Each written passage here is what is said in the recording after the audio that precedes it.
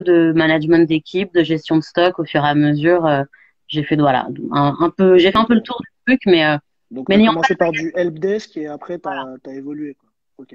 Ouais, évoluer doucement parce que les évolutions sont pas énormes dans ce métier. Bien sûr, bien sûr. On avait une question là juste en dessous, je viens de l'épingler, je sais pas si tu la vois. Quel genre, de projet, quel genre de projet faites-vous? Donc je sais pas trop ce que ça veut dire. Est-ce que euh, on parle de, de, nos projets ou des projets? Je pense qu'elle parlait des projets qu'on met en avant sur la sur, dans ton média. Ouais, alors. Quelles euh, choses on met en avant dans ton média? alors en fait, le, le, média, il est parti d'une euh, déjà d'une réflexion avec euh, l'ami avec qui je l'ai créé, de se dire on ne se euh, on ne se reconnaît pas en fait dans la presse, dans ce qu'on voit, les magazines féminins, parce qu'on est deux femmes, ou les magazines dits communautaires avec de gros guillemets du genre Gazelle, etc. ça parlait ça parlait que d'une partie en fait de, de nous et de nos de nos personnalités. Donc on a voulu faire quelque chose qui nous ressemblait. Et on s'est dit bon, on va lancer, euh, on va lancer au début un blog, un truc tout simple. On écrirait euh, sur les films qu'on aime, les albums de rap qu'on aime parce qu'on écoute aussi du rap même si on est des femmes, etc. Et puis au fur et à mesure, on s'est rendu compte qu'il y avait tout un tas de de personnes en fait issues de l'immigration. Le, le, vraiment le fondement c'était ça, de mettre en avant des gens issus de l'immigration et de les de les valoriser de manière positive. Pas, euh, tu sais pas pour dire juste je défends les miens, mais parce que on sait très bien que malheureusement dans les médias le genre de médias d'émissions que les gens regardent le plus ou de presse écrite, qui est très sensationnaliste. On va parler, on, va dire les mots euh, très simples entre nous. On va pas euh, utiliser. quand on parle des Arabes, des Noirs, des gens de banlieue, des musulmans, c'est toujours en mauvais termes. C'est toujours pour parler de violence, pour parler de terrorisme, pour parler quand on parle des femmes maghrébines ou musulmanes, c'est pour dire qu'elles sont euh, euh, et même s'il y a des soucis au sein de la communauté, on ne nie pas, mais c'est toujours pour parler euh, des femmes soumises ou euh, tu sais qu'on empêche de sortir et autres et qui devraient euh, se rebeller contre leurs grands frères, etc. C'est toujours très schématique tout ce mhm. qu'on en. Or, bah tu le sais tout aussi bien que moi et je pense que les gens qui regardent aussi. C'est peut-être une réalité, mais il y a, euh, je sais pas, une centaine d'autres réalités qui existent.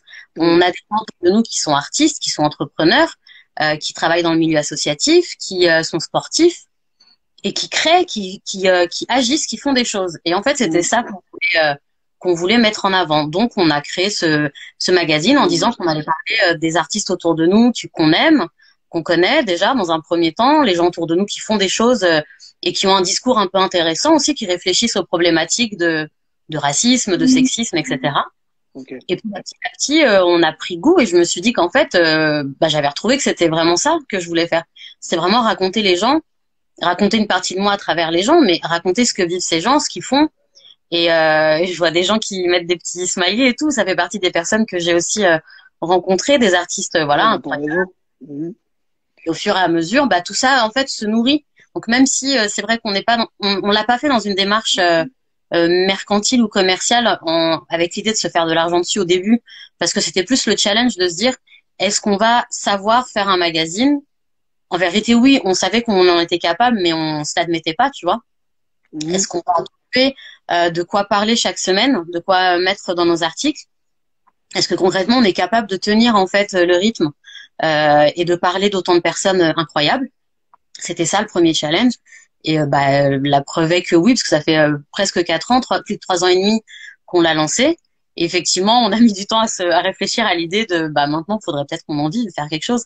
Mais c'est très difficile de c'est très difficile de vivre d'un média qui n'est pas qui ne soit pas payant ou qui ne qui ne demande pas d'argent d'une manière ou d'une autre euh, au public. Donc on réfléchit à est-ce qu'on fait des campagnes de crowdfunding? Est-ce qu'on euh, est-ce qu'on demande un abonnement? Ou est-ce qu'on essaye de faire une levée de fonds beaucoup plus massive euh, auprès de personnes qui ont vraiment de l'argent Mais euh, après, est-ce que le projet va plaire aussi à ces personnes-là? C'est une autre une autre histoire. C'est une autre histoire. Après, ce que je voulais moi savoir, c'est justement, il y a une citation c'est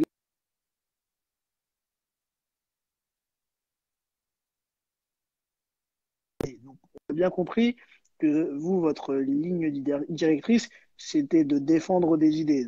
Euh, c'est bien, vous êtes dans les grands esprits. Entre si, on s'accorde avec cette, exclusivement avec cette citation, excuse-moi, je t'ai coupé.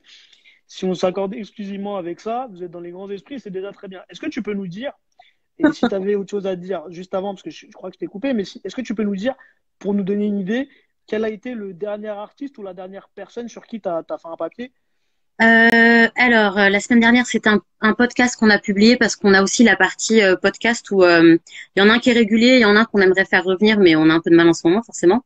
Donc, mhm. le podcast s'appelle Jamais sans mon livre et on demande donc toujours à des personnes anonymes, hein, cette fois-ci, issues de l'immigration, de parler d'un livre qu'ils sont en train de lire en ce moment et ensuite de parler de leurs habitudes de lecture et de leur rapport au livre et à la culture, toujours avec l'idée que on a des, on a malheureusement on a des stéréotypes et encore une fois, quand on est euh, parfois des Arabes, des Noirs de banlieue, on pense pas forcément, du moins l'extérieur, ne pense pas à nous comme étant des gens lettrés, euh, des gens. Lecteurs. Donc c'était pour casser ça.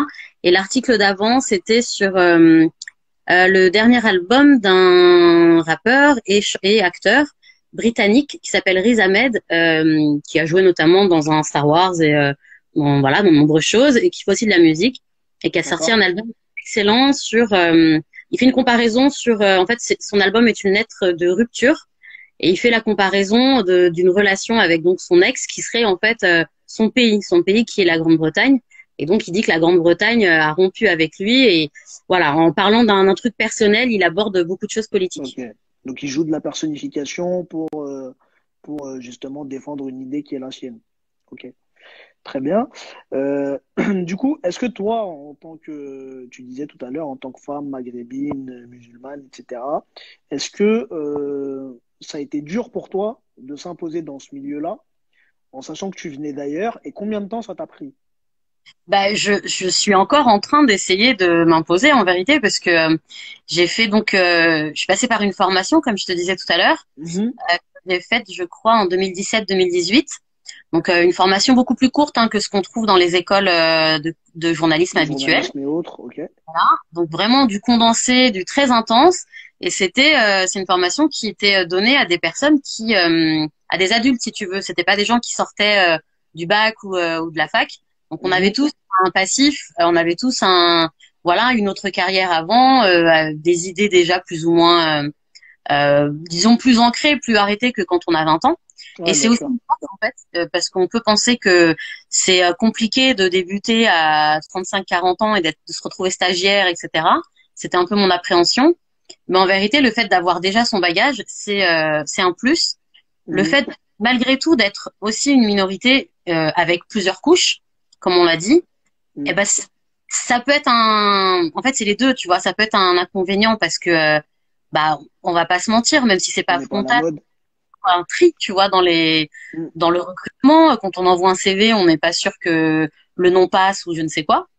Mais en même temps, c'est un avantage parce que on, finalement, on est peu, euh, on est peu comme moi entre guillemets à débuter à mon âge, à avoir mes origines, etc. Et quand tu arrives dans mm. une rédaction, quelle qu'elle soit, euh, c'est clair qu'on, enfin moi, je sais que c'est une habitude que j'ai prise. Euh, quel que soit l'endroit où je me retrouve, je inconsciemment, je me mets à compter un peu les, les visages, euh, tu sais, un peu différents, euh, qui sont pas dans la majorité, pour voir un peu comment c'est. Est-ce qu'il y a de la diversité euh, là où j'arrive? Est-ce que je vais devoir moi affronter seul le regard qui peut être biaisé par du racisme ou autre, ou juste par des a priori, tu vois?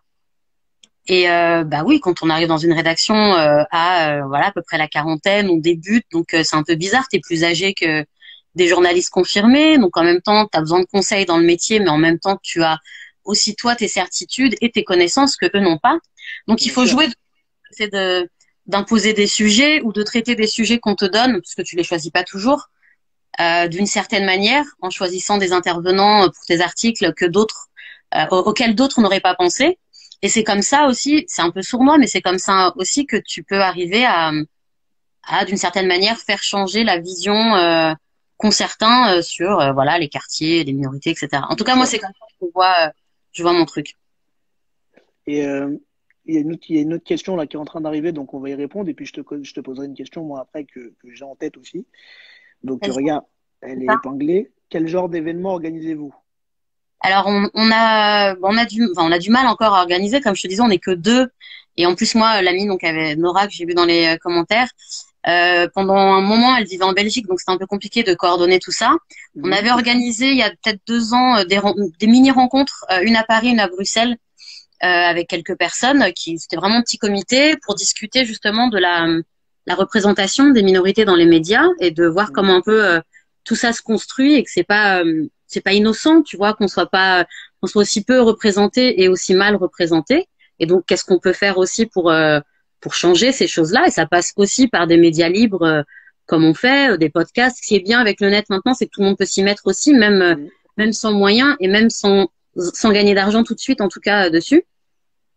Et, et pour le moment, c'est tout. On avait l'idée d'organiser des conférences euh, sur Paris en faisant venir des voilà des intervenants artistes ou autres euh, pour discuter voilà de différents sujets et puis bah euh, bon il s'est passé ce qui s'est passé mais même avant ça on n'avait pas eu le temps d'avancer donc on mmh. espère que l'an prochain Inch'Allah on pourra on pourra faire ça.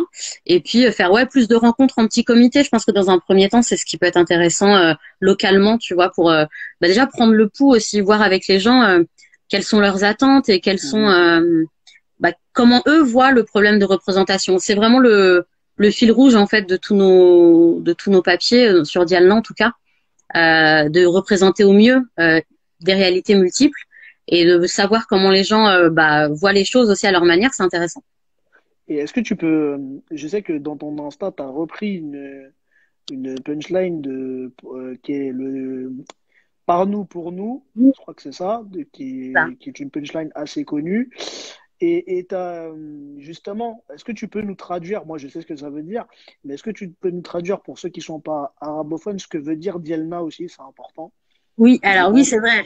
Du coup, quand on a, quand on pensait euh, le concept du magazine, euh, on s'est posé beaucoup de questions, à savoir est-ce qu'on allait parler que de femmes, est-ce qu'on allait parler que de maghrébins euh, ou pas. Et puis on a décidé de faire quelque chose de plus large et de parler vraiment des minorités, des gens issus de l'immigration au sens large. Et puis on avait quand même envie d'avoir un truc euh, qui nous ressemble en particulier, en tout cas dans le nom. Donc on a on a choisi le mot Dialna qui en en arabe en darija. Alors je pense que nous on est marocaines toutes les deux, on est d'origine marocaine. Mhm. Il me semble qu'en Algérie aussi ça doit se dire. Euh, ça veut dire tout simplement quelque chose qui nous appartient à nous.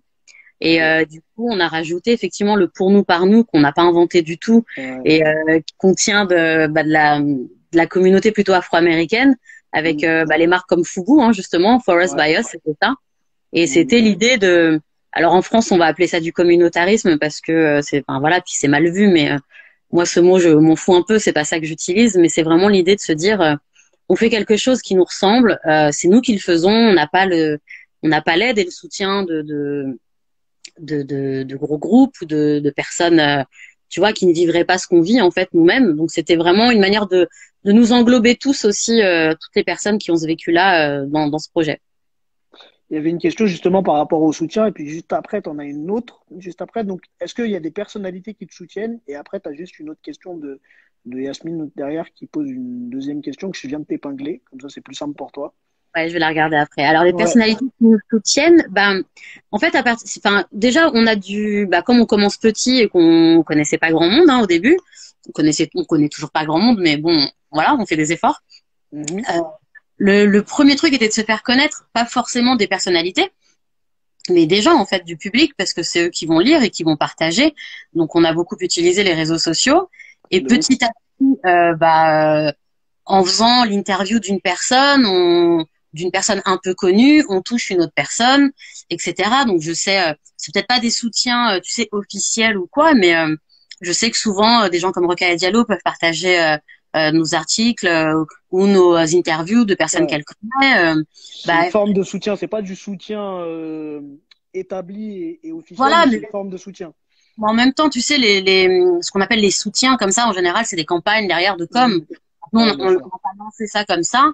Mais euh, tu parlais tout à l'heure euh, d'Oxmo et euh, mais je j'en reviens de soutien. C'est une forme de soutien de ouf.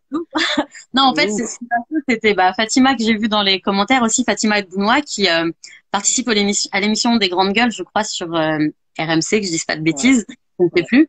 Euh, que j'ai rencontré d'ailleurs euh, via Rokaya Diallo et que bon, avec qui on discute souvent et qui fait un live comme ça régulièrement euh, depuis le début du confinement, un genre de radio libre. elle m'avait invité pour parler de livres aussi, etc. Et donc elle, elle annonce qu'elle invite Oxmo, donc c'était hier soir. Ouais. Et ben moi, enfin voilà, Oxmo, je pense que comme beaucoup de gens, il a accompagné une bonne partie de ma jeunesse, en tout cas ses, ses, albums. Et il y a, bah, il y a deux ans maintenant, du coup, c'était les 20 ans de son premier album Opéra Puccino, il avait sorti une réédition. Et du coup, sur Diana, je pouvais pas passer à côté, euh, à côté de, de, ça. Et donc, j'ai fait un papier où, pour le coup qui est un peu moins journalistique, mais qui est beaucoup plus personnel, où je racontais en fait l'impact qu'avait eu ce, ce, disque, cet album sur moi à cette époque-là. Et vraiment, enfin moi c'est un, un, album que j'écoute encore aujourd'hui. comme l'enfant seul, moi ça me c'est des morceaux qui me font encore chialer aujourd'hui, donc ça fonctionne. Et donc j'envoie ça à Fatima, mais parce qu'on discutait, je disais à quel point Oxmo j'aimais beaucoup.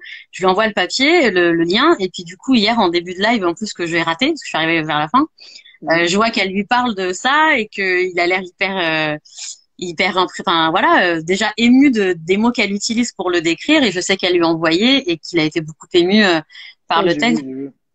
Je suis sur un petit nuage en vrai depuis ce matin. je comprends, je comprends. Oui, non, euh, bah, nous, par exemple, pour, euh, pour, pour, revenir sur ce que tu disais, par exemple, je sais que Mac Taylor, il a, il a validé c'était focus, tu vois. Ah, bah ouais, mais ça, c'est des, voilà, mais c'est C'est beau, tu vois. Ça fait plaisir quand c'est des artistes en plus qu'on a appréciés. et en plus, bah, derrière, euh, vu la mentalité des personnes qu'on suit et tout, on se dit, bah, on, on, a visé juste. Donc, c'est. ça. Exactement. Tu as une autre question, du coup alors, cette comme je disais tout à l'heure?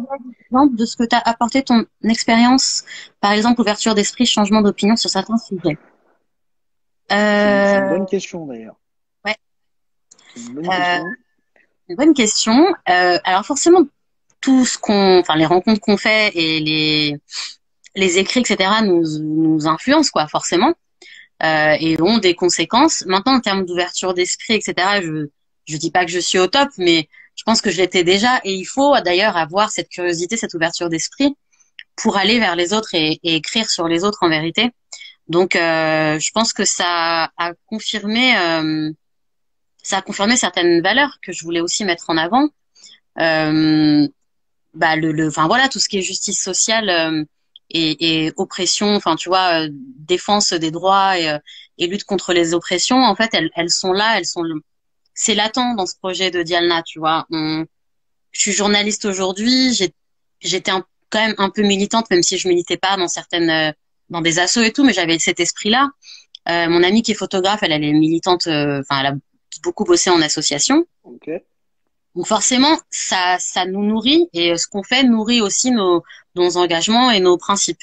Et c'est toujours ça qu'on met en fait au cœur de, à chaque fois qu'on se dit on va faire un papier sur telle personne ou telle ou tel projet, euh, il y a ça derrière. C'est aussi de se dire, ok, euh, je veux écrire sur tel artiste que j'apprécie, mais au-delà de la qualité de l'œuvre artistique, est-ce que derrière cet artiste, il a aussi un discours qui va avec nos valeurs et qui peut, euh, voilà, qui, qui, qui pourrait développer dans une interview, tu vois? Et j'ai, bah, pour compléter, parce que Yasmine, je pense que c'est aussi ce qu'elle, ce qu'elle voulait savoir dans une certaine mesure, c'est est-ce que par exemple, avant Dielna, tu n'aurais pas interviewé telle ou telle personne, et maintenant que tu as Dielna, tu t'es dit, bah, en vérité, il faut donner la parole à tout le monde, par exemple, tu vois. Ou est-ce qu'il y a vraiment des gens que tu, euh, pas que tu refuses dans ton média, mais limite, tu vois bah, je, la condition première, pour, pour avoir l'honneur d'être sur Dialna. non, vraiment, voilà, c'est des personnalités issues de l'immigration. Parce que le, le, le, principe même, c'était le manque de représentation et on veut essayer de rééquilibrer avec nos petits moyens euh, la, la sous-représentation ou la mauvaise représentation des gens comme nous. Donc forcément, euh, j'ai envie de dire, euh, une femme qui ferait quelque chose d'extraordinaire, mais qui ne serait pas issue de cette immigration, ce qu'on appelle les racisés, c'est un mot qui fait peur et que les gens aiment pas, mais sont perçus, racisé, ça veut dire vraiment être perçu comme euh, ayant une race. Euh, les blancs l'ont aussi, mais ils sont, ils ne vivent pas le racisme, etc. Donc, euh, je me dirais, ben, elle n'a pas forcément sa place, non pas qu'elle ne mérite pas d'être exposée, mais elle n'a pas sa place sur ce média-là en particulier. Et il existe une multitude d'autres médias, et je pourrais l'interviewer pour un autre média dans lequel je travaille ou autre, tu vois. D'accord. Ça, ça m'est arrivé parfois. J'ai des possibilités d'interview et je me suis dit, pour Diana, c'est pas, hum, ça, ça irait pas. Du coup, bah, j'essaye de le proposer aux différents médias avec qui j'ai pu collaborer ou même essayer ailleurs. Après, il faut, voilà, bah, vu que Diana ne nous rapporte pas d'argent, encore une fois, quand on peut avoir aussi des, quand je peux avoir des interviews, de, de faire des papiers intéressants et, et les vendre à d'autres rédactions et me permettre bah, de vivre pour ensuite faire Diana, tant mieux.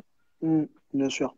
Il y a une question euh, qui t'est posée et après il va nous rester cinq minutes parce qu'il faut qu'on qu'on interviewe après la légendaire Amina Kalash, qui, qui, est aussi dans notre live. Donc, il va nous, bon, on, va, on va prendre 5 à 10 minutes encore parce que c'est archi intéressant ce que tu es en train de raconter. Et puis, il y a beaucoup de questions. Il y a beaucoup de gens qui te donnent de la force dans les commentaires. Je sais pas si tu as vu. Ouais, j'ai pas eu le temps de tout lire, mais merci beaucoup. Je regarde le, le, live en replay. Euh, euh, il, est, en replay. De toute façon, il est sur YouTube. Il est sur tous les médias ah, bah, aujourd'hui. Ah, bah, j'irai lire les commentaires euh, qui apparaissent une question, c'était euh, avez-vous. Après, il y avait une autre question, c'était quelle était euh, l'action Stay Focus Donc, je le rappellerai à la fin. Mhm. Mais c'était euh, la question, c'était est-ce que vous avez déjà lancé des, des initiatives au Maroc, notamment? Non, et franchement, on aimerait bien parce que du coup, on, on est originaire du Maroc, on vient un peu de la même région, et on aimerait beaucoup lancer des choses avec des, des associations de femmes, par exemple, ou jeunes artistes. Euh, bon là, c'est un peu compromis hein, pour les mois à venir, je pense, mais euh, dans un futur euh, prochain, peut-être euh, d'ici les l'année prochaine ou les deux prochaines années, essayer d'organiser quelque chose, ce serait hyper intéressant. Je sais que donc mon amie Nora qui est photographe, elle a fait elle à titre personnel, enfin et professionnel, pas mal de, de, de travaux photographiques là-bas. Donc je pense qu'on va faire. Après, on a indirectement, même si on n'a pas fait d'action là-bas, euh, indirectement, on parle aussi beaucoup d'artistes marocains. Euh, j'ai plus les noms, mais je crois que Nora avait interviewé des jeunes photographes, euh, dont un qui s'appelle euh, Yassine Selam, un autre Ismaël Zaidi, je crois. D'accord. On a interviewé le chanteur Ahmed Sultan, qui pour le coup lui, agit beaucoup aussi en local et a une grande carrière. Euh, donc voilà, c'est plus à travers les artistes auxquels on peut avoir accès qu'on essaye de faire quelque chose. mais j'avoue, ouais, euh, faire un truc, un, un partenariat avec des assos là-bas, ça, ça peut être intéressant. Mais bon, il faut avoir le temps, il faut y aller. Et euh, il faut prendre ce temps-là. Donc, on va attendre que tout ça se calme et puis on va y réfléchir. Bien sûr. Et du coup, où est-ce qu'on peut te retrouver? Est-ce qu'on peut te retrouver que sur Insta? Est-ce qu'il y a un site web? Est-ce que tu alors, non, il y a en promo? Ah, Vas-y alors. Il y a le site web qui c'est donc dialna.fr. Il y a là le compte Insta avec lequel je suis connectée où on relaie euh, bah, on relaie les articles qu'on publie régulièrement. Et puis il y a une page Facebook, il y a un compte Twitter. Voilà, si vous voulez nous joindre, il y a toutes ces choses-là. Et euh, si vous voulez euh, participer au podcast Jamais sans mon livre pour quand on pourra à nouveau ressortir et se rencontrer avec plaisir. Et puis bah sinon, on prend toutes les on prend tous les, les conseils, les, les critiques, les commentaires que voilà que vous voulez nous donner parce que euh, on sait ce que pensent nos ce que pensent nos amis et nos familles du site et on est contente. Euh, mais du coup, avoir des retours de personnes qu'on ne connaît pas, c'est aussi hyper. Euh, euh c'est presque plus. Euh, euh, ça nous donne presque plus de force parce que du coup, on. Je vois des commentaires. Merci Samira, le rose me va bien. c'est encore mieux d'avoir des commentaires des gens qu'on connaît pas parce que bah il y a pas l'affect et du coup, ça nous permet d'avancer. Et donc, si vous aimez Diana, dites-le et partagez. Si vous aimez pas, gardez-le pour vous, c'est pas grave. Et, euh, et puis si, oui, voilà, si encore une fois, on n'est pas une société encore pour le moment, donc on, on ne se rémunère pas et on peut pas rémunérer euh, les gens qui nous aideraient. Mais si vous avez, euh, si vous avez envie d'écrire et que vous, euh, vous n'osez pas, et je le dis vraiment parce que ça a été mon cas pendant longtemps. Euh, si vous n'osez pas écrire parce que vous estimez que vous savez pas le faire, parce que vous n'avez pas appris, vous n'avez pas eu la formation pour, euh, parce qu'à l'école c'était compliqué, etc. Euh, euh, mais je vous dirais déjà, n'hésitez pas. Franchement, euh, lancez-vous, même si c'est que, même si c'est que pour vous en fait, et que personne va le lire. Déjà, ça sera un premier, euh, une première étape. Faites-le lire à des personnes de confiance en qui, euh, ben voilà, qui vous jugeront pas et qui vous diront clairement il y a ça à améliorer ou continue ou bien juste c'est pas ton truc et faut autre chose. Et si après tout ça, vous avez envie de parler, vous connaissez un pote artiste, je sais pas moi, rappeur, une femme photographe issus de l'immigration toujours, hein, c'est la notre seule condition. On, en a nous en plus. Vous voulez mettre en, avant. en train de se lancer là. bah voilà. Donc franchement, contactez-nous. On prend les collaborations extérieures de personnes qui veulent euh, se lancer aussi dans l'écriture. Euh, comme je dis, on peut pas rémunérer, mais on vous paiera un café dès que possible. Et, euh, et voilà, euh, contactez-nous si vous avez besoin de ou si vous voulez participer aussi au site. On accepte sans problème. Surtout dernière question, et je pense qu'elle est importante pour toi, c'est comment on peut vous aider? Ah, c'est super gentil. Euh, alors, on n'a pas encore mis de cagnotte en ligne, mais je pense qu'on le fera bientôt parce que bah, après, je sais que c'est compliqué pour tout le monde. Euh, comment nous aider dans un premier temps? Bah, Déjà, abonnez-vous à toutes les pages, aux comptes, etc. Et surtout, si vraiment vous aimez, encore une fois, je vous oblige à rien, Et c'est valable pour Dialna comme c'est valable pour n'importe quel euh, petit média qui se crée, que ce soit des podcasts, des sites d'information, euh, des chaînes YouTube. Si vous aimez vraiment le contenu, il faut le partager en fait, parce que on n'a pas de régie publicitaire, on n'a pas des écrans pub sur toutes les chaînes. Et ce qui fait que le site est connu et ce qui nous donne aussi de la force et nous permet de continuer et nous rend visible auprès de tous, c'est les partages en fait sur les mmh. réseaux sociaux on va pas se mentir, que la plupart des sites euh, euh, bah, continuent à exister au-delà de l'aspect monétaire. Donc partagez les articles, mentionnez-nous euh, pour nous faire connaître auprès de, de vos proches et de... du plus de monde possible quoi. C'est ça. Et puis on avait mis, alors est-ce que je l'ai à côté de moi? Attendez, on avait mis en vente une tote bag, mais forcément c'est mis sur pause en attendant, enfin pour le moment. D'accord. Sortir un, mais bon il est au fond du sac, je peux pas. On avait mis en vente des tote bags, tu sais, des sacs en coton avec le logo Diana. Euh, en vrai, les ventes, elles sont, enfin, elles sont pas suspendues parce que euh, c'était pas sur le site. Fallait nous envoyer un message et on vous donnait tous les tous les détails.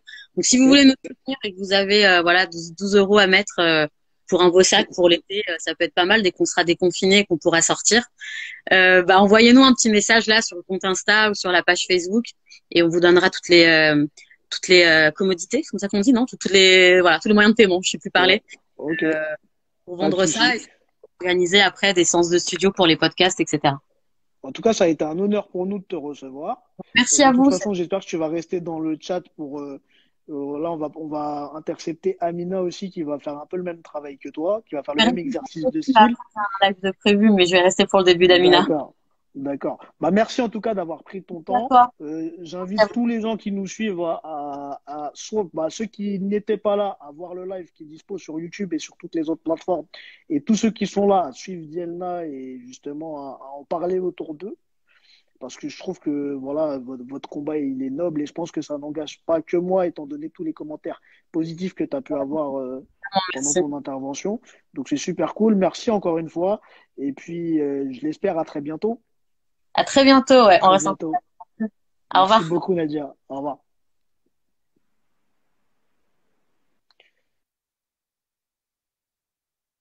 Franchement. Euh, et du coup, là, on est en connexion avec Amina. Amina, ça, va, quoi? Ouais, attends. Joyeux anniversaire. Ah, j'ai droit à ça. Joyeux anniversaire.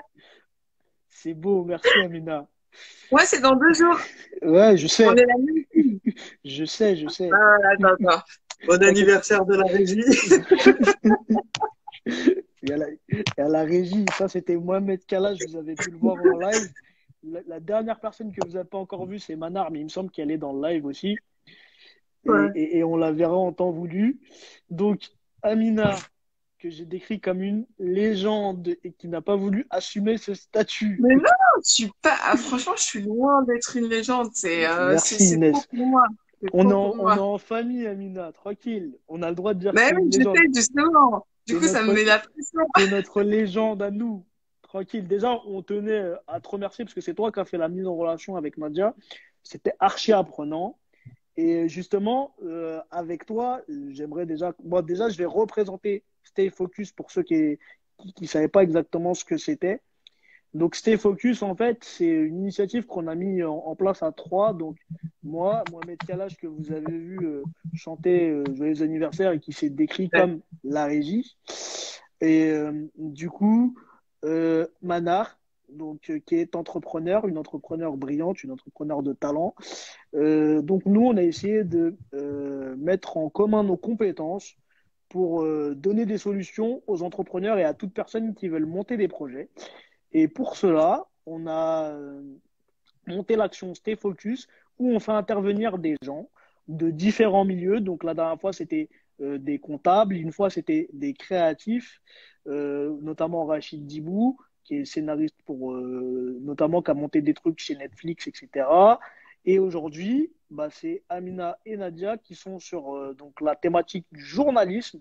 Et toi, je sais que tu as un média dont nous, on parle beaucoup entre nous, qui s'appelle Ça va parler. J'aimerais que tu en parles, j'aimerais que tu le présentes. Et puis après, j'aimerais aussi que tu, tu répondes à la deuxième, enfin, la deuxième question que j'avais posée à Nadia, qui était comment on fait quand on est entrepreneur pour arriver à intéresser un journal, quel qu'il soit, euh, un journal, un média, une star, quelqu'un pour euh, essayer de faire son buzz et de l'entretenir derrière? Ok. Donc, euh, du alors live de ça va parler demain. Ouais, donc il y a mon frère qui fait ma promo ici. C'est de la pub.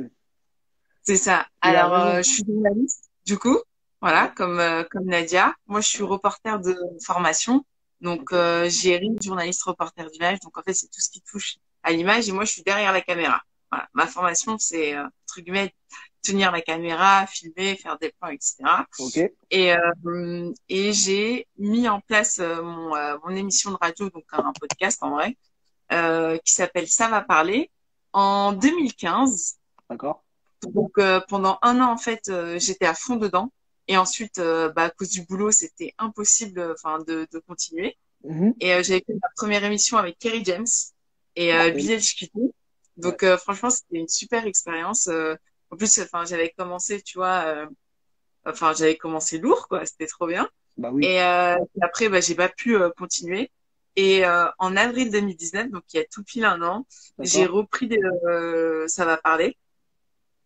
Et, euh, et là, je compte vraiment pas m'arrêter en fait. C'est vraiment le mon projet et en gros, ça va parler. C'est euh, en fait comme comment ça se comment ça se ouais matérialise. En gros, c'est euh, deux j'ai deux invités donc, dont je fais le portrait et mhm. on parle de, de ces deux personnes là. Donc en général, je fais des portraits croisés. Enfin, j'essaie toujours euh, de me débrouiller pour que ce soit des personnes qui sont complètement différentes, mais en vrai, ils ont quasi des complémentarités. Ouais, voilà. Et euh, donc après, c'est beaucoup de travail aussi d'écriture parce que quand tu fais des portraits croisés, tu essayes de, enfin, t'es obligé de connaître toute leur vie et t'essayes de trouver des résonances l'un comme chez l'autre. Et euh, mais c'est ça qui est kiffant, c'est qu'à la fin, puis bon, t'en as qui se connaissent, mais t'en as beaucoup qui se connaissent pas et ils gardent toujours contact. Et euh, puis, enfin, ça C'est toi qui as matérialisé ce contact-là en plus. C'est toi qui leur as montré qu'ils avaient des points communs quelque part. C'est ça, et du coup, euh, je crois que mon premier métier dans la vie, c'est de mettre les gens en relation. Tu vois ouais, c'est vrai. C'est vrai, c'est vrai. Et, euh, ouais. Et, euh, et du coup, c'est après j'ai parfois des chroniqueurs. Enfin, vu que c'est euh, pareil, c'est c'est en enfin c'est en mode bénévole, donc euh, c'est celui qui veut participer participe. Et puis mhm. ces derniers temps, je les ai fait toutes seules. je me suis dit en vrai, et c'est sous forme, tu vois, de, un peu de, de talk show mais version radio. Et, euh, et je prends un grand plaisir à le faire et à connaître plein de beaux parcours. Et, euh, et euh, c'est drôle parce que du coup, quand certains euh, repartagent, etc., j'ai des personnes qui me contactent, qui aimeraient participer. Et euh, ces derniers temps, j'ai eu beaucoup, euh, beaucoup de ça et je devais avoir des super personnes. Puis il y a eu le confinement, ce sacré confinement.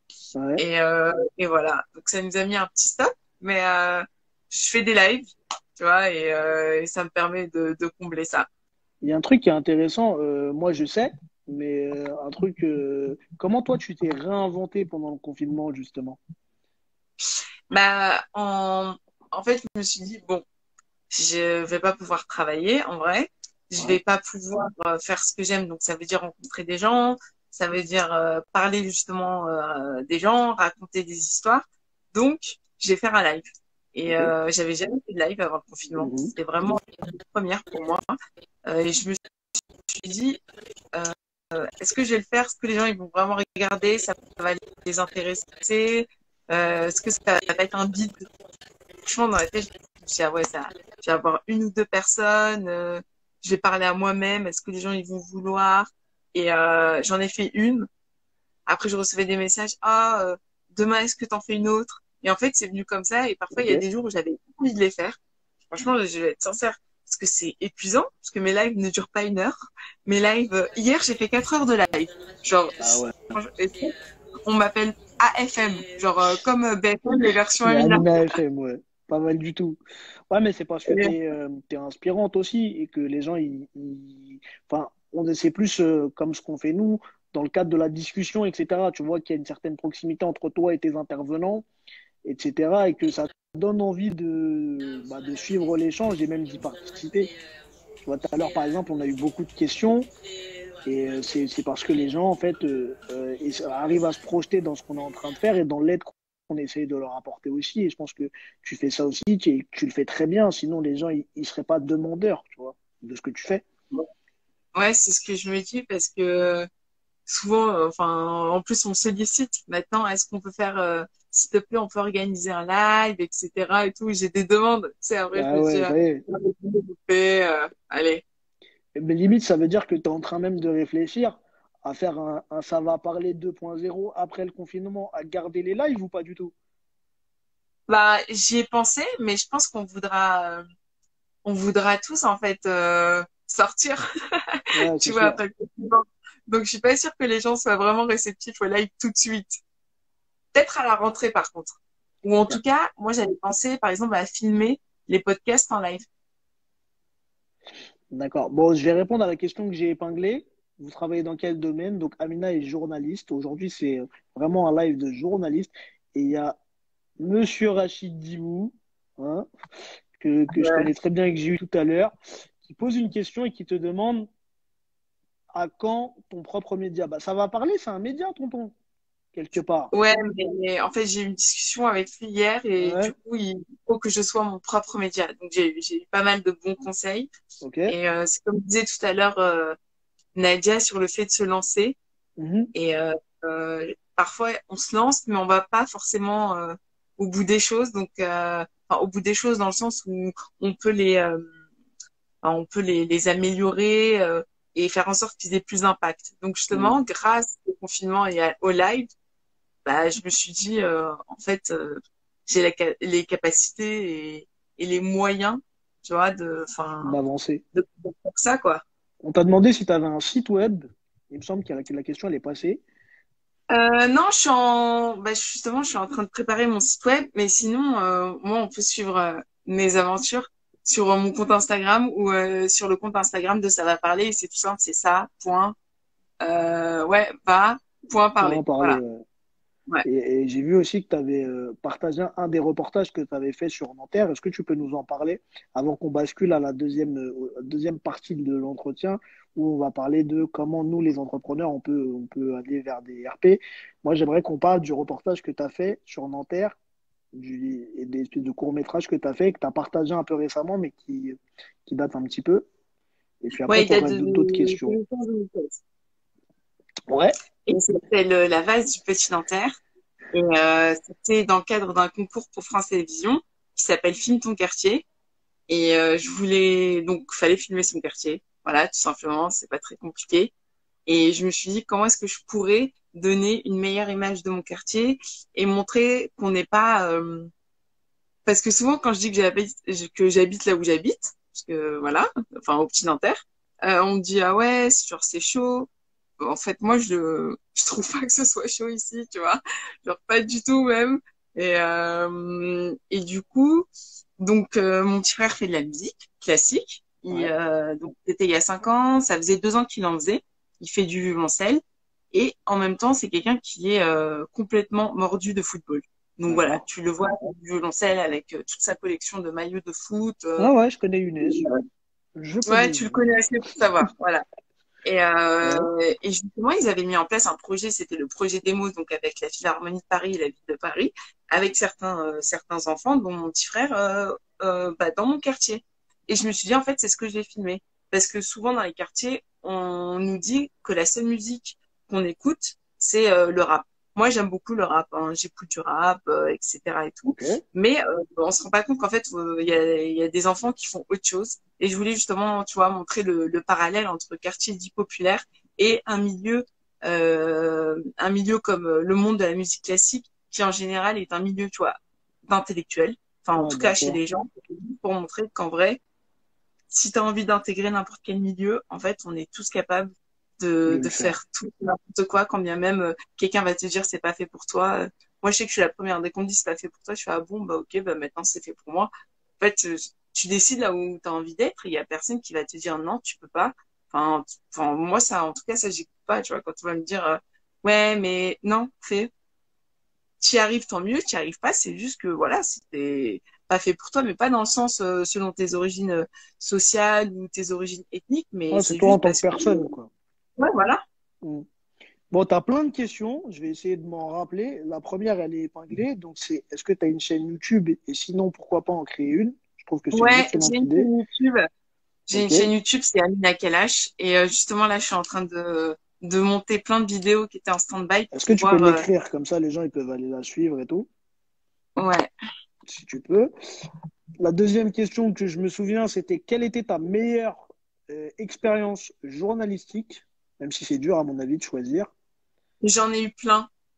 J'en ai eu plein, mais une qui m'a marqué euh, et que, enfin, dont je parle souvent, c'est quand je suis partie faire un reportage euh, à Timimoun dans le désert algérien. D'accord. C'est le fait de filmer euh, des espaces complètement vides, mais en même temps complètement, enfin, remplis d'énergie, remplis d'émotions, et, et c'était magnifique. Franchement, je, j'ai eu un gros coup de cœur pour pour le désert. Ok. Alors, tu as plein de questions de Rachid au, au niveau du court métrage aussi. Euh, alors, la première question qu'il avait posée, c'était combien de prix a eu ton court métrage s'il y a eu des prix? Ouais, combien tu avais de budget pour le faire? Alors, euh, pour euh, concernant ce petit documentaire de 3 minutes 30, euh, ouais, j'avais été sélectionnée, en fait, j'avais fait partie des, des lauréats, des lauréats du concours. Donc, j'étais très contente, surtout que c'était la première fois que je faisais cet exercice-là et que je participais à un concours, enfin, en tout cas avec en termes de court métrage. Et euh, enfin, ouais, c'était plutôt un docu. Et en termes de budget, j'avais zéro budget, j'avais juste ma propre caméra. Et, euh, et j'avais même pas de micro à l'époque, c'est pour ça que le son il est pas ouf. Mais euh, donc voilà, parfois en fait, c'est bien quand on a des budgets, quand ça passe en télé ou ou, euh, ou dans des, enfin Netflix, etc. Vu que mhm. c'est ça concerne du courachide. Mais parfois, quand tu veux filmer, en fait, tu as juste besoin de ton propre matériel et, euh, et de beaucoup de créativité, d'imagination. Et souvent, quand on a des limites, c'est là où on est le plus euh, créatif. Et euh, moi, je me suis souvent débrouillée comme ça pour faire mes, euh, mes, mes, petits documentaires ou mes petits trucs. C'est que bon, t'as pas les financements, t'as pas ci, t'as pas ça, bah. Mais t'as la créativité. De, de, manière, voilà, c'est ça. De ouf. Et c'était quoi? Il y avait une question aussi par rapport à tes projets futurs. Il me semble, je crois que c'était Nassera qui posait cette question-là. Quels étaient tes projets futurs? Euh, donc là, j'étais, euh, bah, aujourd'hui, j'ai commencé à monter un, euh, enfin, un court documentaire par, euh, pareil. Enfin, il fait pas trois minutes, mais il fera à peu près 26 minutes que j'avais filmé avant, euh, que j'avais filmé avant le confinement. Et j'en avais un autre plus long, un long documentaire que je devais commencer à filmer justement mars, avril, mai, juin, mais qui a été, bah, pour le coup, reporté, voilà. Donc c'est ouais, Ok. Euh, la question suivante, c'était euh, avez-vous une formation de journaliste? Donc ça, je vais répondre en rapide, oui, parce que tu as, tu as répondu en début de live. Et euh, la prochaine, c'était est-ce que, du coup, pour, le, les prochains projets que tu vas mettre en place, tu vas avoir un plus gros budget bah, J'aimerais bien, oui, mais après, voilà, c'est des financements, ça se trouve, ça se. Mais idéalement, oui, enfin, surtout en tout cas pour le, le documentaire là qui devait, enfin, qui a été reporté, euh, lui, j'ai, enfin, j'ai besoin de budget. Euh, sinon, je pourrais pas euh, l'autofinancer, quoi. Ou en tout cas, si je l'autofinance, il va mettre 40 ans. Enfin, pas 40 ans, mais il va mettre beaucoup plus de temps, quoi. Donc, en fait, tu feras avec ce que tu as de toute façon. Et, ah, bah, regarde. Il y a une question qui est de, de, de Rachid qui est justement complémentaire à ça. C'est recherches-tu des financements pour un prochain film? Oui, bah, en fait, je, je, recherche, mais par contre, je voulais pas pour le documentaire sur euh, en fait ça sera un documentaire sur la binationalité je voulais pas faire une euh, parce qu'on m'a souvent parlé de crowdfunding de faire euh, une sorte de cagnotte etc mais pour celui-ci j'ai pas envie en fait j'ai vraiment envie d'avoir de construire par toi-même déjà dans un premier ouais, voilà c'est ça.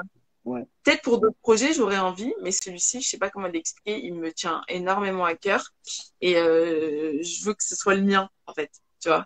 Et que du coup le proposer aux autres mais euh, je tiens vraiment à que ce soit, euh, enfin que je trouve des financements en tout cas euh, autrement. Pour lier à la thématique qu'on va aborder là tout de suite, euh, donc la thématique c'est euh, comment on fait nous en tant qu'entrepreneurs pour aller chercher euh, le Parisien, un AJ+, ou c'est ce type de médias bruts, etc. C'est quoi les portes d'entrée? À qui il faut envoyer un mail? Est-ce que envoyer un mail, c'est encore à la mode? Est-ce qu'il faut envoyer une vidéo? Est-ce que tu as des tips à donner par rapport à ça?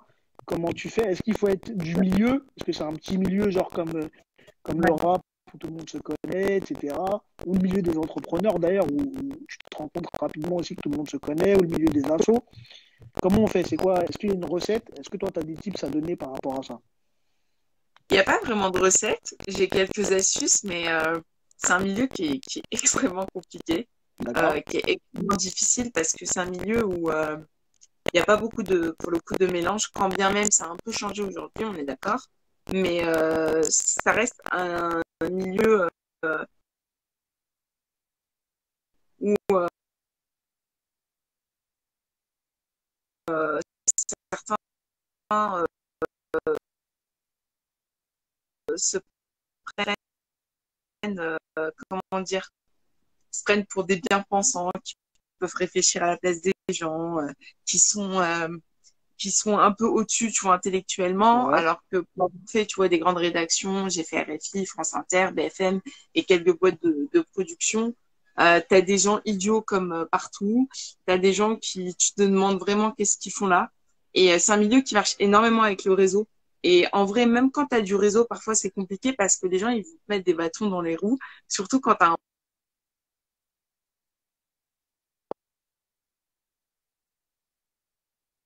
alors là, c'est bon. Genre, euh, tu, fais flipper et on t'apprécie pas trop. Franchement, tu as, certaines mhm. euh, rédactions ou, euh, ou certains médias où tu peux être comme ça. Enfin, je pense à, à AG+, tu vois, où j'ai des amis qui sont là-bas. Et euh, qui sont à, c'est à Doha. La rédaction française aussi, elle est à Doha. Okay. Et euh, Click, et euh, mais voilà, faut faire partie de la clique. En vrai, les gens ils sont pas trop confiance dans le milieu. Ouais, tu peux faire, euh, tu peux faire euh, joli papier peint. Merci Rachid. Euh, tu peux faire euh, te faire un nom, mais en fait, tu as des gens qui arrivent à prendre l'ascenseur parce que ils, ils sont entourés de, de personnes qui vont vraiment les aider. Ils vont dire écoute, je mise tout sur toi, je vais le faire, etc.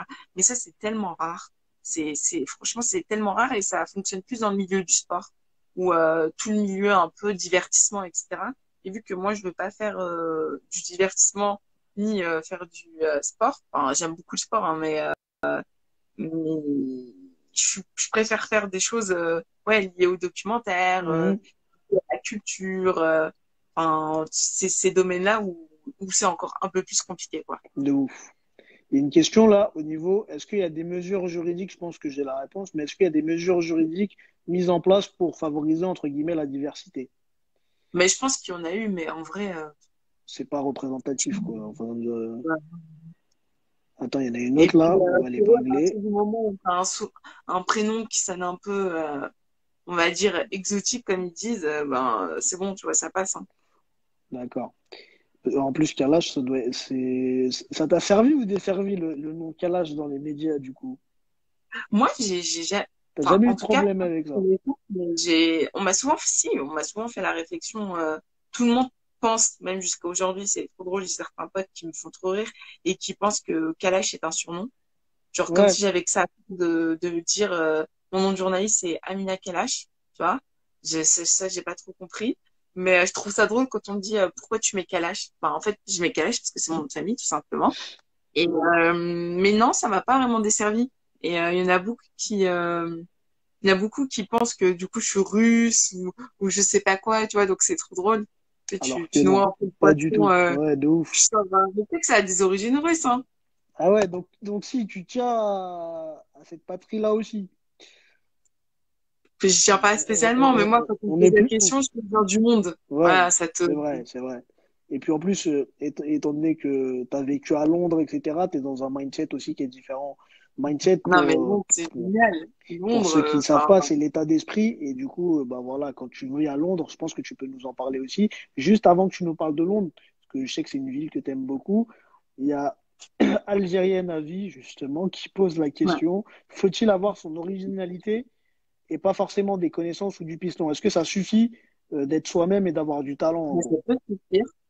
Ça peut suffire si par exemple tu, tu crées quelque chose qui n'a jamais été fait et que tu cartonnes sur le web. Parce qu'aujourd'hui, tu peux aussi faire le choix. En vrai, je pourrais aller dans une rédaction, euh, être comme tout le monde, euh, faire mes petits articles, avoir mon petit confort, et encore quand tu as un emploi et tout. Mais si tu as envie de faire vraiment ce que tu aimes, faut pas, enfin, faut pas hésiter, tu vois, à utiliser, euh, à utiliser pour le coup euh, Internet, les réseaux sociaux, à essayer de, de, de, de, créer quelque chose, et essaye de faire quelque chose. En tout cas, c'est ce que je dis aux gens, essaye de faire quelque chose qui n'a pas déjà été fait, ou du moins si ça a déjà été fait, de te le réapproprier et pas forcément de faire du copier-coller, parce que quel est l'intérêt? Enfin, de se dire, moi souvent c'est ce que je me dis, pourquoi est-ce que les gens ils vont écouter mon podcast? Pourquoi est-ce que les gens ils vont regarder euh, mon reportage? Euh, C'est quoi la différence entre euh, le mien et cette émission? Et c'est compliqué, hein, c'est pas facile parce que souvent euh, tu dis ah j'aime bien ça, bah, j'ai envie de faire ça. Et alors qu'il faut essayer, tu vois, de, de se détacher et de se dire moi qu'est-ce que je peux apporter? Et oui. c'est comme tu vois, c'est comme pour un sujet.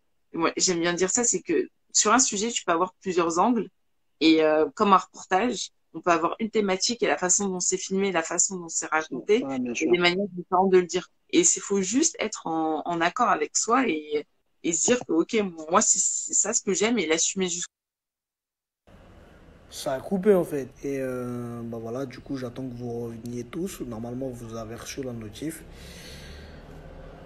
Mais ouais, ça a coupé parce que ça faisait une heure et je n'avais pas vu que ça faisait une heure.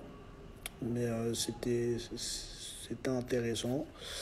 Tac, tac, tac. Donc là, il y en a d'autres qui vont arriver. Amina, elle est revenue dans le game, donc je la réinvite. Tac, je crois qu'on va pouvoir reprendre. Tac. Ouais. Ouais, en fait, ça faisait une heure.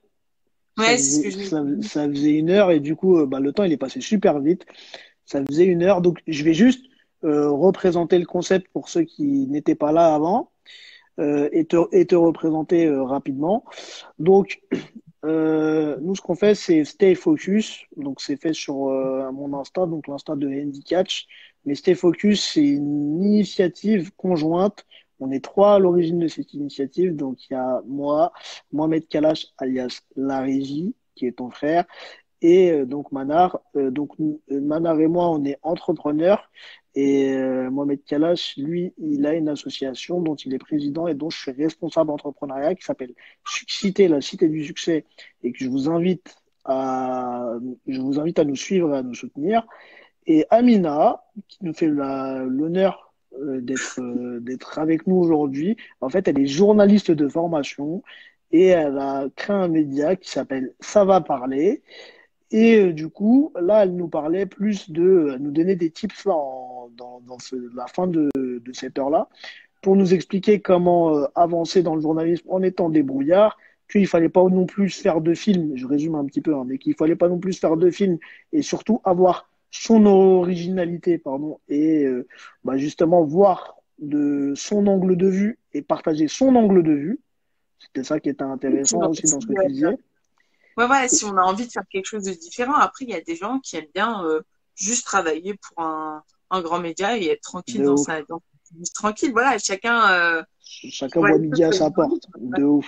Et justement, je voulais revenir avec toi sur une expérience qui te tient à cœur de ouf. C'est euh, quand tu es parti à Londres, qu'est-ce que ça t'a apporté? En fait, je vais, je vais souvent à Londres, mais euh, j'ai jamais vraiment travaillé à Londres. Même si j'aurais j'aurais vraiment beaucoup aimé travailler à Londres. Et euh, même avec le Brexit, euh, oh, je, je, je sais pas si euh, on, ça va être encore possible, mais euh, en fait, moi je trouve que la différence entre euh, les médias anglais et euh, les médias français, c'est bon, il y a des problèmes partout, on est d'accord. Y a, je dis pas qu'il y en a un qui est meilleur que l'autre, mais en tout cas celui qui me ressemble, je trouve le mieux et avec lequel, enfin, je suis plus en accord, pour le coup, c'est plus la mentalité anglaise. C'est euh, t'es pas, t'es pas, comment dire, t'es pas dans ce truc de euh, on va attaquer une seule communauté, euh, on va faire peur euh, à toute la population. Je dis pas que ça n'existe pas, mais en tout cas, c'est beaucoup moins présent. Euh, c'est beaucoup moins présent, c'est beaucoup plus ouvert d'esprit. et déjà, c'est un pays qui, qui accepte plus la différence, qui accepte plus le fait qu'on soit tous différents et qui d'ailleurs en fait, à partir du moment où tu as envie de faire, j'ai l'impression que c'est, c'est plus simple, c'est plus ta personnalité qui compte que des diplômes. Euh, en France, euh, parfois, même si tu as des diplômes, en fait, que ta personnalité dérange, que tu sois un peu à côté, les gens, ils aiment pas trop ça. Alors qu'à Londres, au contraire, quand, euh, quand tu vois que tu es complètement original et que tu veux faire les choses différemment, mais ils adorent ce genre de profil. Bah, typiquement, moi, je suis dans le recrutement et c'est vrai que nous, on essaye avec notre produit d'être plus dans une logique de diplôme que celle de la compétence et eux, non, plus dans une logique de, compétence que celle du diplôme, pardon. Et, euh, et du coup, en fait, c'est quelque chose qu'on retrouve beaucoup à Londres. C'est-à-dire que je vais donner un exemple tout bête. Tu veux devenir cuisinier à Londres, ils vont arriver, ils vont te dire bonjour, tu sais faire un gâteau, vas-y, fais voir. Ouais. Alors que, alors que c'est vrai qu'ici, ils vont te dire ah ouais, ah tu sais faire un gâteau, bon, est-ce que tu as fait telle école de cuisine, est-ce que par qui tu as été formé, etc. Ils sont très très formation, etc. Bon, il y a Algérien Avi qui avait posé la question de pourquoi cette destination, mais je pense que tu y as répondu. Euh, en fait, plus tu parlais, plus on avait la réponse. Et du coup, il y a Rafik qui demande difficile, qui dit difficile de se distinguer dans le milieu journalistique. Tu avais déjà commencé à répondre euh, ouais, dans bah, ton début d'intervention. Moi, bien sûr que c'est difficile, mais je, pars du principe où à partir du moment où es, euh, tu es toi-même, tu es authentique, et à partir du moment où tu acceptes en fait euh, enfin, les thématiques que tu as envie de faire, euh, le journaliste que tu as envie d'être, c'est pas très compliqué, tu sais, de, de se distinguer. Quand même, on peut avoir, enfin, je parle quelqu'un qui a une entreprise, euh, je sais pas, de sauce, et on va dire il y en a dix qui font la même chose. Là, je pense que la personne qui va se démarquer le plus, enfin selon moi, c'est la personne qui a fait ça euh, avec le cœur, qui a fait ça par passion, qui a fait ça euh, parce qu'en fait c'est toujours ce qu'elle a voulu faire. Et du coup elle va se démarquer comme ça. Mmh. elle va démarquer son produit parce que c'est c'est il y a, y a une essence tu vois. C'est c'est quelque chose qui qui est qui est là euh, et tu le sens dans ce que tu transmets etc donc c'est pour ça que oui il y en a plein des journalistes il y en a plein des journalistes aussi qui pensent comme moi et qui ont envie de faire euh, qui ont cette volonté de faire des choses différemment mais comment pour moi, ce que tu distingues, c'est juste en étant toi-même, euh, avec ta personnalité, euh, avec euh, ce que tu as envie de faire. Et, ouais, voilà, c'est tout. Rafi qui dit un truc qui est intéressant et, que, que, je comprends ce que tu veux dire, frérot. Parce que Rafik, il est champion en fait d'haltérophilie. Il a ramené la médaille d'or de Manchester, donc bravo à lui déjà. Et il disait, il y a un journaliste d'un média que je ne citerai pas, qui, euh, en le décrivant, a dit, au lieu de se baser sur son parcours euh, de, de sportif de haut niveau, a dit euh, Rafik, malgré son handicap, fait ci, ça, ça. Du coup, il l'a rappelé pour lui dire faudrait peut-être arrêter de dire malgré son handicap, faudrait peut-être arrêter de me rappeler, enfin, de me, me réduire à ma condition. Ouais. Et c'est vrai que des fois, euh, est-ce que d'ailleurs on peut limiter ce truc-là? Genre, euh, admettons, je me fais interviewer par un journaliste et est-ce que je peux derrière me plaindre sur ce qui a été dit euh, ou dire bah non, c'est pas ce que je vous ai dit, mais c'est ce qui est sorti, parce qu'on sait que ça dessert beaucoup les gens. Comment on gère ce truc-là? Bah, tu peux, par exemple, quelqu'un qui a, quand tu réponds à une interview, déjà pour moi, euh, tu, s'il y a des choses, euh, par exemple, dont tu n'as pas envie euh, qu'on parle, faut pas hésiter. J'ai pas envie de parler de ça. Je veux pas lire ça dans l'article et je veux surtout pas, euh, par exemple euh, par exemple, quelqu'un, oui, qui euh, va dire, qui a un handicap, si euh, on dit dès le départ, écoute, moi, je réponds à ton interview, ma condition, c'est que je ne parlerai pas de ça et je ne veux pas, je veux vraiment pas qu'on parle de mon handicap. Voilà ce que je fais. Et euh, oui, c'est vrai que j'ai un handicap, mais je suis, je suis pas résumée, tu vois, que par rapport à ça. Donc, ça, parce que, comme ils disent, c'est comme ils disent là dans le chat, ils disent que c'est péjoratif. Il y a, y a Manar qui est d'accord, il y a Rachid qui est plus parti dans les voyages je t'ai épinglé sa question. Il m'a demandé est-ce que les voyages te donnent de l'inspi? Euh, De ouf. Franchement, euh, de ouf parce que parce qu'en fait, quand je voyage, je parfois je suis là et je me dis oh mais j'aimerais trop euh, faire ça en fait, voyager et filmer. Tu sais, moi les émissions qui m'ont toujours euh, passionné et la chaîne d'ailleurs que c'est la seule chaîne de télévision que je regarde constamment, c'est Arte des documentaires sur Arte, c'est des documentaires sur euh, les voyages, des émissions culinaires sur Arte aussi, mais liées, tu vois, autour du voyage mhm. et euh, tout ce qui est euh, comment les gens vivent et donc la culture, etc. et tout. Et moi, c'est comme ça que je suis devenue complètement. J'y toujours, j'y suis toujours pas allée, hein, mais et c'est un de mes rêves. C'est, j'ai un rêve qui est très très simple, mais j'attends juste d'avoir mon permis pour pouvoir le faire. C'est de faire l'Italie en voiture parce que j'ai tellement bouffé de documentaires sur l'Italie, sur euh, la culture, sur la nourriture, sur les paysages, euh, tu vois, sur plein de choses. Ah, mon frère il me dit Click, t'as oublié. Oui, mais Click, c'est euh, oui parce que je, je l'ai saoulé aussi avec Click.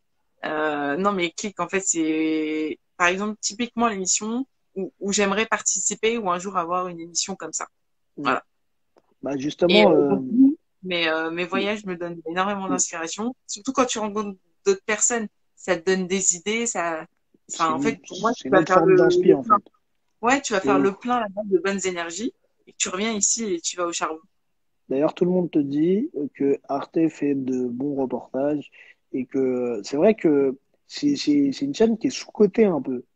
C'est une chaîne qui est sous-cotée un peu parce que justement, euh, enfin, j'ai pas envie de dire que, enfin, j'ai pas envie de tirer sur les autres chaînes, mais c'est vrai que c'est vraiment une chaîne qui est exclusivement apprenante, ce qui n'est pas forcément le cas des autres chaînes. Les Ouais. autres chaînes, tu vas avoir beaucoup de contenu de divertissement qui vont pas être exclusivement euh, apprenants, et c'est vrai que quand tu arrives dans un certain processus, et c'est là aussi où je voulais en venir, comment tu fais, c'est quoi ton, est-ce que tu as un processus d'écriture? Quand tu, Bah, bien écrire quand je voyage. D'accord? J'aime bien justement quand je voyage parce que c'est des moments où, euh, enfin, moi, je me connais par exemple pour travailler, j'ai besoin de m'isoler et, euh, et d'être dans mon monde. En fait, j'ai, j'ai toujours été comme ça. Par exemple, quand je dessine, ou quand je monte, ou quand je, ou quand j'écris, tout ça, en fait, j'ai, j'ai, j'ai ce besoin de, faut pas me calculer, j'ai pas besoin d'être dérangée et je suis dans ma bulle. Je mets ma petite musique. Euh, par exemple, si je suis euh, chez moi ou par exemple si je suis dans un café, je mets ma petite musique, j'ai mes écouteurs. Et le fait d'avoir une ambiance autour, j'aime beaucoup travailler dans les cafés. Le fait d'avoir une ambiance autour, euh, euh, tu vois, sur- enfin, dans les cafés parisiens comme ça, il y a, y a quelque chose. J'aime bien ce Mhm. côté un peu, un peu façon il y a un truc. Ouais, il y a un truc et euh, je, je fais abstraction de tout ça et euh, je peux rester, euh, mais direct de, de m'arriver de rester 6-7 heures comme ça d'affilée et, euh, et c'est là où je suis la plus, euh, la plus créative. Mais j'ai besoin d'être ouais, dans, dans ma bulle. Il y a des gens qui ont une facilité à travailler euh, dans toutes les conditions. Je pourrais aussi le faire, mais je serais pas aussi, euh, on va dire, créative ouais, et productive que si, euh, voilà. Il y a Ibtissem qui te demande, Ibtissem de Networking Sevran, qu'on qu'on salue comme euh, tous les gens qui sont ici d'ailleurs. Pourquoi pas une émission sur les initiatives dans les autres pays? Je crois qu'elle veut créer un truc qui s'appelle Ça va bouger. Je vous trouve le nom, hein, vous le déposez quand vous Mais voulez. tu sais que j'ai commencé et je devais commencer. Euh, c'est drôle que tu me dis ça, Epicène, parce que le lundi on a été confinés, je devais partir à Londres jeudi et je devais filmer euh, deux femmes entrepreneurs et euh, pour dans le cadre de ça va parler pour, pour- et en faire des formats vidéo. Donc en fait, ça va parler, c'était en format podcast en France et euh, je comptais faire des vidéos. euh, en gros, euh, ça va parler, tu vois, s'expatrie en mode s'expatrie quoi. Euh, quand je vais euh, faire mes voyages, ben, je rencontre des, des gens et je les filme en me, enfin, tout simple, tu vois, pour Mm. parler un peu des, des initiatives, etc. Grave. Et euh, Personne a dit on attend ça, on attend ça fort. ouais, ben, je reprendrai après le confinement, Inch'Allah. On attend ça fort. Mais Ibtissem, je vois que t'es dans les petits papiers. Hein. Tu dis pas tout, toi. T'es là, tu as des infos, tu nous dis hop. Très très bizarre tout ça. Se vend toujours dans la sauce. Se vend toujours dans la sauce. Et ouais, du coup, euh, du coup, tu nous as donné plusieurs. euh, tu nous as dit que c'était un petit monde, qu'il fallait pas éviter de, de à se lancer, etc. Moi, je voulais te poser une question. Est-ce que euh, toi, quand bah, je pense que tu n'as pas encore les, les moyens d'une grosse rédac et tout, etc. C'est quoi pour toi les, les logiciels que tu utilises, les moyens de débrouille que tu pourrais nous donner pour monter un, un reportage, faire un truc? Est-ce qu'il faut du matériel en particulier? Est-ce que tu peux nous dire, genre, euh, bah, avec ça, ça et ça, vous pouvez déjà commencer à faire quelque chose? Ben, il faut un ordinateur, euh, la base. Après, ça dépend, parce que ce qui se fait aussi de plus en plus, c'est, euh, on appelle ça le modio, donc le mobile journalisme. Donc, en gros, tu as ton téléphone, tu filmes, et tu peux monter avec des applications gratuites ou payantes. Et même, tu en as certaines qui sont payantes, mais qui coûtent 2, 3, 4 euros. C'est rien, franchement, Ok. euh, sur ton téléphone. Après, si tu veux faire quelque chose un peu plus euh, poussé, on va dire, euh, tu peux avoir euh, enfin un, un ordinateur. Après, je conseille quand même d'avoir un ordinateur, euh, un bon ordinateur parce que puissant, quoi. quand tu as des rushs, euh, après ça dépend si tu filmes en, en 4K ou pas. Euh, tu fais euh, enfin plusieurs plusieurs comment ça s'appelle plusieurs euh, reportages. Enfin, donc vaut mieux avoir un bon PC. Et moi, les deux lo- logiciels que j'utilise, c'est Final Cut Pro. Ils sont payants, mais euh, ils- enfin je les trouve euh, top. C'est Final Cut Pro et euh, Adobe Premiere. Voilà. Je sais que ton frère est en train de se former sur Adobe Premiere. Ouais. Hmm? Je disais, je sais que ton frère, il est en train de se former là sur Adobe Premiere. Ouais, ouais, on en a parlé. Il est en train de, il va, il va nous faire des trucs de ouf. Il va nous faire des trucs de ouf. On compte sur lui, un petit euh, truc. Et free pendant, et free pendant le confinement. Ouais, c'est vrai. Vous pouvez le retrouver sur euh, la plateforme Corona Avengers qu'on a créé justement euh, avec euh, plusieurs entrepreneurs, mais pas que, aussi des jeunes qui sont solidaires et qui sont pas forcément entrepreneurs.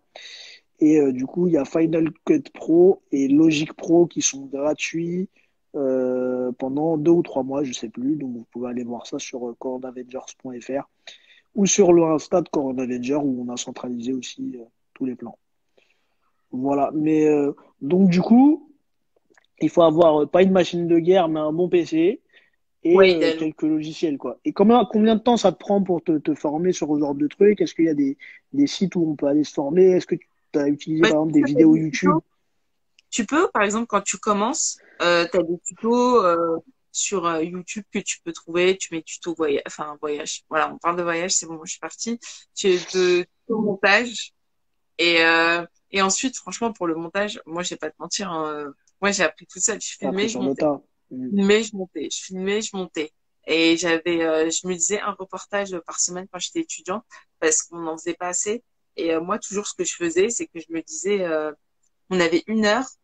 Enfin, on a eu un cours pour apprendre comment monter. Et en gros, tu te démerdes comme ça. Moi, je me suis dit, ouais, bon, on va pousser le truc un peu plus loin. Et j'hésitais pas. je faisais mes trucs et je testais. Franchement, j'ai passé des nuits, des semaines, des mois à essayer plein de trucs et tout. Et euh, là, je compte le refaire bientôt parce qu'il y a plein de choses que je savais faire et que je fais un peu moins bien. Et euh, faut pas hésiter, c'est quelque chose que, franchement, la filmer et monter, ça fait partie des choses où plus tu le fais, plus t'es meilleur.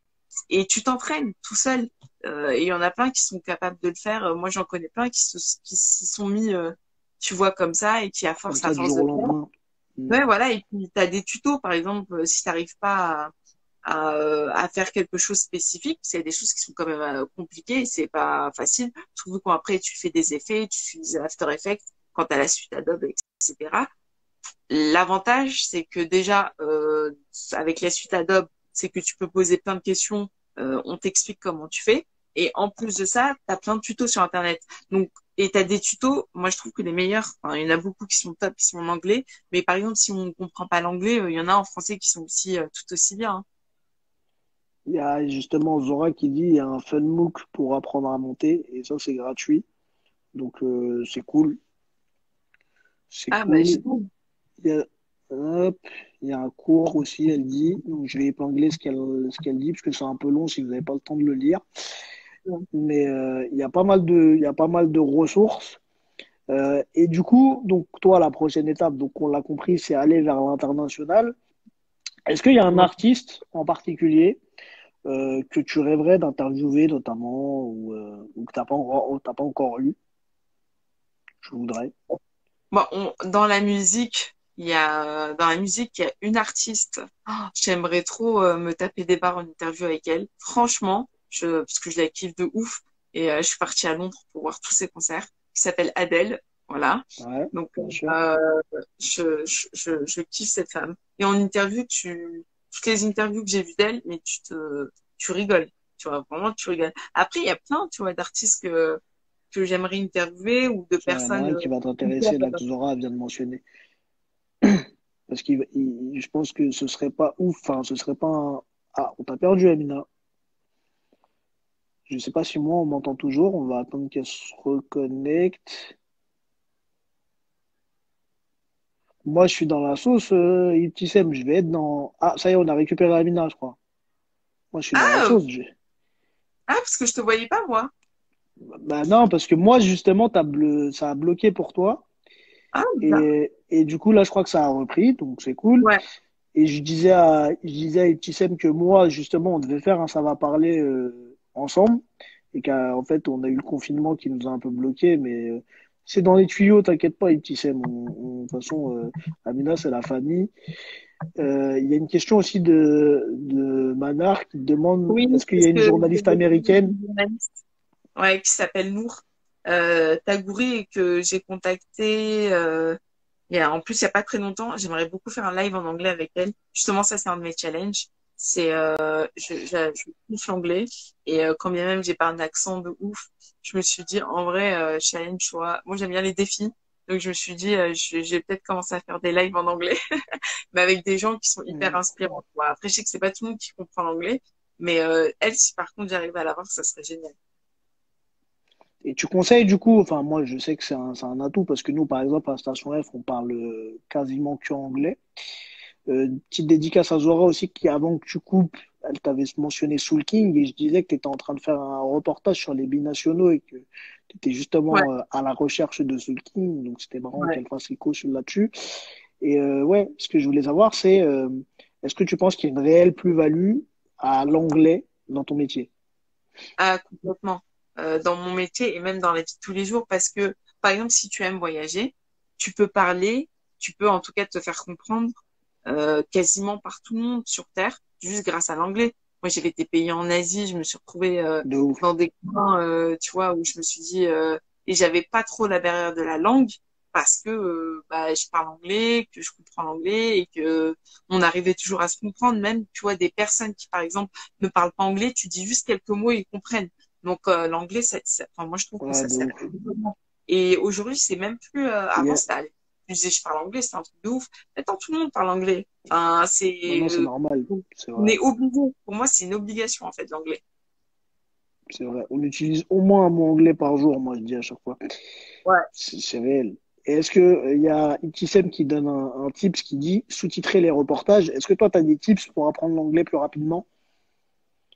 Euh, par exemple, moi, pour conserver mon anglais, j'écoute euh, pas mal de podcasts en anglais, j'écoute euh, des films, enfin, je regarde plutôt les films en VO, mais sous-titrés anglais.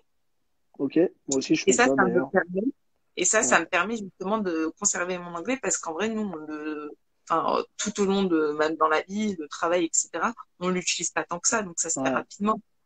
Ouais, ça se on pratique pas assez, en fait la radio au départ, quand j'avais commencé, euh, oh, je comprenais pas. Je me suis dit, vas-y, qu'est-ce qu'ils sont en train de dire? Enfin, surtout, les, moi j'aime bien les, les Anglais. Les Américains, c'est plus simple. Les Anglais, c'est un anglais qui est un peu plus soutenu. Et euh, donc, j'ai du mal. Et à force, mon oreille, en fait, tu vois, elle, elle s'adapte, etc. Et là, ça fait longtemps euh, que j'ai pas fait ça. Et du coup, je me suis dit, il faut absolument que je reprenne. Mais par exemple, des podcasts ou des vidéos en anglais, c'est ça sert. Moi, je regarde beaucoup CNN. Je regarde beaucoup CNN et je regarde tout le temps mes, mes contenus en anglais. Déjà parce que dans toutes les séries ou les reportages qu'on fait, je pense notamment à un reportage qui est sorti sur euh, Michael Jordan, je sais pas si tu l'as vu passer. C'est sorti sur, euh, sur Netflix là. Et, euh, franchement, bah, après, il y a, y a, des contenus qui sont exclusivement en VO. Je sais pas si c'est le cas de ce reportage-là, mais il y a, y, a, y a plein de reportages qui, en fait, ça perd de son charme quand tu le mets en français. Mais grave, les voix en français, des fois. Oh J'ai dit, mais c'est catastrophique. Ah, c'est un scandale. Tu l'as vu, ouais. Tissem Tu l'as vu Ouais, bah justement, c'est sorti lundi, c'est sorti en avance. Et, euh, et du coup, ah, voilà, il y a. J'ai pas entendu parce que ça a coupé. Il faudrait que j'aille voir. Ouais, il faut que tu ailles voir, ça s'appelle The Last Dance et c'est euh, un reportage donc sur euh, Michael Jordan qui est une vraie légende de la NBA. Voilà. De toute façon. Bien comme ça. Non mais c'est ouf, c'est ouf euh, ce qu'il a pu faire. c'est qu'il s'est retrouvé du basket à, à, des films Disney comme Space Jam qu'on a tous vus. Et il s'est retrouvé, c'est un truc de ouf. Et il s'est retrouvé à faire du baseball, du golf Enfin, c'est une légende, le type. Ouais. Et, euh, de toute façon, on va avoir, euh, enfin, je spoil un peu, hein, mais on va avoir normalement, euh, que ce soit en, en start-up ou, ou en journaliste sportif, des gens du basket plus tard, un peu dans Stay Focus. Donc, on, on aura l'occasion d'en reparler de, de ça. C'est prévu quand on a vu le reportage tourné sur Michael Jordan.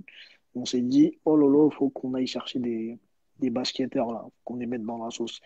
Mais c'est un truc de ouf. Et, euh, l'anglais, d'ailleurs, est-ce que t'écris, tu, tu penses écrire exclusivement des trucs exclusivement en anglais ou pas? Bah, j'aimerais bien. Il y a des moments où euh, je faisais ça avant et je le fais plus et je devrais recommencer à le faire. c'est écrire des articles en anglais. C'est avoir une thématique et écrire en anglais. Euh, euh, parce que un jour, vraiment, j'aimerais beaucoup euh, travailler en, enfin, à Londres. J'ai un, mm. d'ailleurs, Inou qui est là, il mène, on a, on partage, depuis qu'elle est à Londres, on partage, tu vois, le, le, même truc par rapport à Londres. Moi, j'ai découvert, enfin, j'ai toujours aimé Londres. La première fois que j'y suis allée, c'était pour mon anniversaire, c'était en avril. Euh, quand j'étais, euh, j'avais 16 ans et euh, depuis 12 ans, ben, je suis pliée. C'est minimum deux fois dans l'année et j'y vais et, et je kiffe quoi. Mais je sais pas, je sais pas. Tu sais, parfois t'aimes quelque chose, c'est un tout, tu peux pas l'expliquer. Ouais, tu sais pas l'expliquer quoi. Ouais, mais il faut hein écrire ou même, je sais pas, tu sais, avec les réseaux sociaux, sur Instagram, tu te fais un pote. Enfin, il y a des gens qui te suivent des étrangers ou qui parlent anglais. Euh, et euh, tu essayes d'avoir une sorte de correspondance comme, comme, quand on faisait quand on était au collège ou au lycée, on écrivait des lettres à des correspondants tu vois, en Angleterre ou aux États-Unis. Et bah grâce aux réseaux sociaux, maintenant tu peux. c'est trop, c'est trop facile. Mais moi, j'ai deux expériences comme ça là. Hein. Qui ça? Bah, quand j'ai voyagé, euh, en, par exemple en Indonésie, il y a deux filles que j'avais rencontrées et euh, il y en a une avec qui j'ai gardé contact. Et, et elle parle que anglais. Ouais, bien sûr. Bien sûr. Bah, moi, justement, nous, comme on est, euh, on est, comme on est à la station F, on parce que je parle pour moi et Zora notamment, euh, tu sais, ça parle que anglais. C'est-à-dire que, en gros, tu as des workshops, donc des ateliers, que si t'es pas euh, anglophone, euh, on, on, va, il y a des gens qui vont te traduire, etc. Et puis, tu vas devoir retravailler derrière, etc. Mais euh, si t'as pas cette sensibilité-là, tu vas forcément perdre quelque chose et moi, par exemple, j'ai un truc qui est ouf aussi, c'est que moi, j'ai mon cousin qui est au bled, qui est marocain, d'accord, et qui est prof d'anglais. Et des fois, il y a des trucs qu'il sait pas me dire en rebeu, qu'il va me dire en anglais. Du coup, on va se retrouver à parler français, anglais et rebeu dans la même discussion, tu vois. Et c'est là que la langue, je la trouve ouf, parce qu'en vérité, c'est, bah déjà, l'anglais, comme tu disais tout à l'heure, euh, où que tu sois dans le monde, ça parle anglais. C'est ça. C'est une, une, vraie plus-value. Et, et, même, je te dis, quand, quand, quand le français ou l'arabe, c'est ta langue natale, entre guillemets, ta langue maternelle, des fois, tu es, perdu. Des fois, il y a des mots qui ne viennent pas comme ça et tu vas l'avoir en anglais. Ouais. Euh, tu vois, par exemple, euh, par exemple, le mot mindset, je vais jamais le dire état d'esprit, je vais toujours dire mindset. Non, le mot euh, business model, pour parler de comment on va gagner de l'argent dans notre business, etc. Je vais pas aller dire aux gens comment on gagne de l'argent. Je vais dire c'est quoi mon business model. T'as plein de mots comme ça, nous. Enfin, après, nous, on est un peu plus impacté. Ouais. On est un peu plus impacté avec l'entrepreneuriat. Et je pense que tu es impacté aussi dans, dans une certaine mesure, tu vois. Dans une certaine mesure. Comme eux, ils sont impactés par d'autres langues, mais moins, je trouve, tu vois. Non, non, c'est important. Moi, j'ai toujours dit. Et, et euh, enfin, l'anglais, euh, pour moi, c'est essentiel. Et euh, j'aimerais bien, par exemple, utiliser dans mon métier beaucoup plus souvent. J'ai déjà eu une expérience où je faisais que des interviews en anglais, euh, je kiffe parce que tu rencontres des gens euh, de, enfin, de, de partout. Euh, et je sais pas, c'est un autre délire. C'est un autre délire. de toute façon, moi, j'ai toujours dit dans la mauvaise capitale. Je, voilà, je, en vrai, je veux bien échanger ma vie avec un Anglais qui rêve de venir, euh, tu vois, à Paris. Moi, laisse Paris, y a pas de problème. Genre, fous-moi à Londres. Euh, je pense que ça te manquera. Je pense que ça te manquera, tu vois. Il y a des trucs qui vont te manquer ici. Quand je voyage, quand je voyage, par exemple, je suis très contente de rentrer à Paris. Mais euh, Londres, je Londres, en vrai, euh, non. Je, je, je vais dire un truc qui va peut-être choquer certaines personnes, mais euh, par exemple, quand je tu pourrais rester. Pour, mais Londres, je rêve d'y vivre. Par exemple, quand je prends l'Eurostar de retour, ça m'est arrivé plus d'une fois de chialer. Voilà tu vois, pourtant, je fais des exclus. On a des exclus. Là, genre, te dire un peu de ouf. Et euh, mon frère est même charrier, mais moi, c'est rare quand je pleure. Mais par contre, à chaque fois que j'ai la boule au ventre, tu me dis, punaise. Et tu sais, plein de fois, j'ai dit, vas-y, c'est quoi? En vrai, je rentre pas. Je vais, je rentre pas, je reste et tout. Et après, je me dis, vas-y, il y a le boulot. Et ça m'est déjà arrivé une fois de le faire. Hein. Je, je rentre pas, genre j'ai raté mon j'ai raté mon Eurostar et je me suis dit vas-y je vais rajouter une semaine et euh, je m'en fous du taf. Et euh, j'avais envie de rester et euh, j'ai kiffé. Enfin je sais pas comment l'expliquer mais euh, ouf, hein. quand je pars on dirait une mongole genre ah. tu vois. Et mon frère rigole. Ouais, bah oui, parce qu'il sait que c'est réel ce que tu es en train de raconter. Et puis, euh... non, mais c'est un attachement en plus autre parce que t'es pas né là-bas. Et euh, c'est quelque chose que tu as vraiment kiffé, toi, dans ta vie. Et je pense que même ah, professionnellement, ça t'a apporté quelque chose, tu vois. Parce que moi, je sais que la mentalité des quinri par rapport à ce que nous, on fait dans l'entrepreneuriat, euh, franchement, moi, euh, quand je vois le rapport qu'on a malheureusement en France avec l'innovation, je kiffe quand je parle avec des quinri, tu vois. Oui, c'est pas pareil. Il y a un, comment dire, le souci, je trouve qu'en France, c'est que tu peux pas, euh, en fait, tu es bizarre ou tu es marginal quand euh, tu assumes certaines choses ou euh, quand tu ouais, assumes en fait ta personne et tu assumes ton originalité ou que quand tu pas envie de faire les choses comme les autres, souvent on va dire ouais mais pourquoi en fait tu veux être différent? Euh, Pourquoi tu veux pas être comme tout le monde, c'est en, en mode reproche? Alors que là-bas, ils t'encouragent. Moi, enfin, quand je vais là-bas, je ce que j'aime bien c'est parler aux gens, euh, et je rencontre plein de personnes et à chaque fois on a le, même discours et euh, ils aiment bien les Français mais ils nous trouvent tellement pas ouverts d'esprit et euh, je, suis entièrement d'accord avec eux. je suis vraiment, enfin, je, je suis grave. Ah, bien sûr, mais moi, de toute façon, je m'en rends compte, euh, je m'en rends compte euh, tous les jours par rapport à ce que je développe, par rapport à, à l'appli qu'on est en train de pousser, etc. Il y a plein de gens qui me disent, tu aurais été aux États-Unis, tu aurais explosé depuis au moins trois ans, tu vois. Ouais. Et euh, parce que justement, ici, il y a plein de barrières euh, euh, psychologiques, humaines aussi dans les comportements, etc., que tu n'as pas forcément là-bas. Juste un truc tout bête. à Station F, tout le monde se tutoie parce que en anglais, tout le monde se tutoie. Ouais. Tu verras jamais personne, vous voyez personne. Et ça, c'est un truc de ouf parce que tu établis directement une proximité avec la personne avec qui tu discutes et du coup, ça crée directement un lien tu vois? Ah, ouais, tu as des barrières administratives aussi. Après, tu as des trucs dans le système français euh, qui sont très très bien aussi. Hein. On est, on est archi bien en France. Hein. En France, hein, bien sûr, mais on en, bien. D'ouverture d'esprit, par exemple, même dans le système du travail, tu as quand même une sécurité en France que tu n'as pas dans d'autres pays. De ouf. De ouf. De, en Angleterre, demain, on te dit t'es dehors, euh, t'es dehors. Hein. Et tu peux pas faire valoir tes droits, c'est comme aux États-Unis. Hein. C'est ça. Mais derrière, justement, le, le truc, c'est, euh, par exemple, tu vois, euh, le rapport à l'échec, et on en parle souvent dans Stay Focus, mais le rapport à l'échec, il n'est pas du tout le même. Demain, ton gosse, il tombe d'une échelle aux États-Unis, ils vont lui dire, ils vont s'assurer qu'il va bien, ils vont lui dire, c'est bien, ton, mon fils, t'as essayé. Alors que ici, bon, si c'est un daron de chez nous, déjà, il va s'inquiéter pour toi et il va t'effrayer alors que tu avais déjà eu peur avant de, de, s'assurer est-ce que tu vas bien ou pas. Et après, derrière, il va se dire, ouais, ok. Alors que, et après, on va te dire, ne retente plus jamais ça. J'en parlais tout à l'heure avec quelqu'un, mon entourage, qui, et je lui expliquais que, bah, en vrai, on n'a rien à voir en, termes de mindset, dans le sens où euh, un entrepreneur, euh, on va lui dire, euh, par exemple, quelqu'un qui a monté sa boîte et sa boîte, elle n'a pas forcément marché, etc. On va lui dire, c'est comment? Mais euh, on est en échec. Euh, ah, t'as échoué. Ah, t'as monté ta boîte, t'as pas marché. Ah bah ok, euh, super. Alors que après, t'as des mecs comme Idriss Aberkan qui a écrit Libérez votre cerveau, qui t'explique que l'échec est un diplôme, etc. Et qu'on peut augmenter, etc. Et nous, par exemple, moi, si je parle de ma situation personnelle, tu vois, je suis en situation de handicap. Aujourd'hui, les gens, quand je leur dis je fais un produit pour tout le monde, ils ont du mal avec ce truc-là, tu vois. Ils ont, ils ont envie de te dire non, reste dans ton truc et reste dans ta case, etc. Alors que, alors qu'en Angleterre, bon, ils vont, en Angleterre ou aux States, ils vont surjouer le truc, ils vont être là, oh, amazing, mais t'es obligé, tu parles avec eux, t'es obligé, t'es ému, t'es obligé, t'es content. Tu vois, alors que là, c'est super vide à Paname et tout, mais euh, tu vas à Paname quand c'est blindé, c'est rempli, les gens, ils se calculent pas entre eux, euh, ça se ça se tutoie pas. Tu tutoies quelqu'un, il va te regarder de travers. Ouais, va te parler de bienséance. Ouais. Non, c'est vrai. C'est il y a un délire euh, qui se fait. Euh, enfin, en vérité, nous nous cette proximité là, on a la chance de l'avoir à Station F.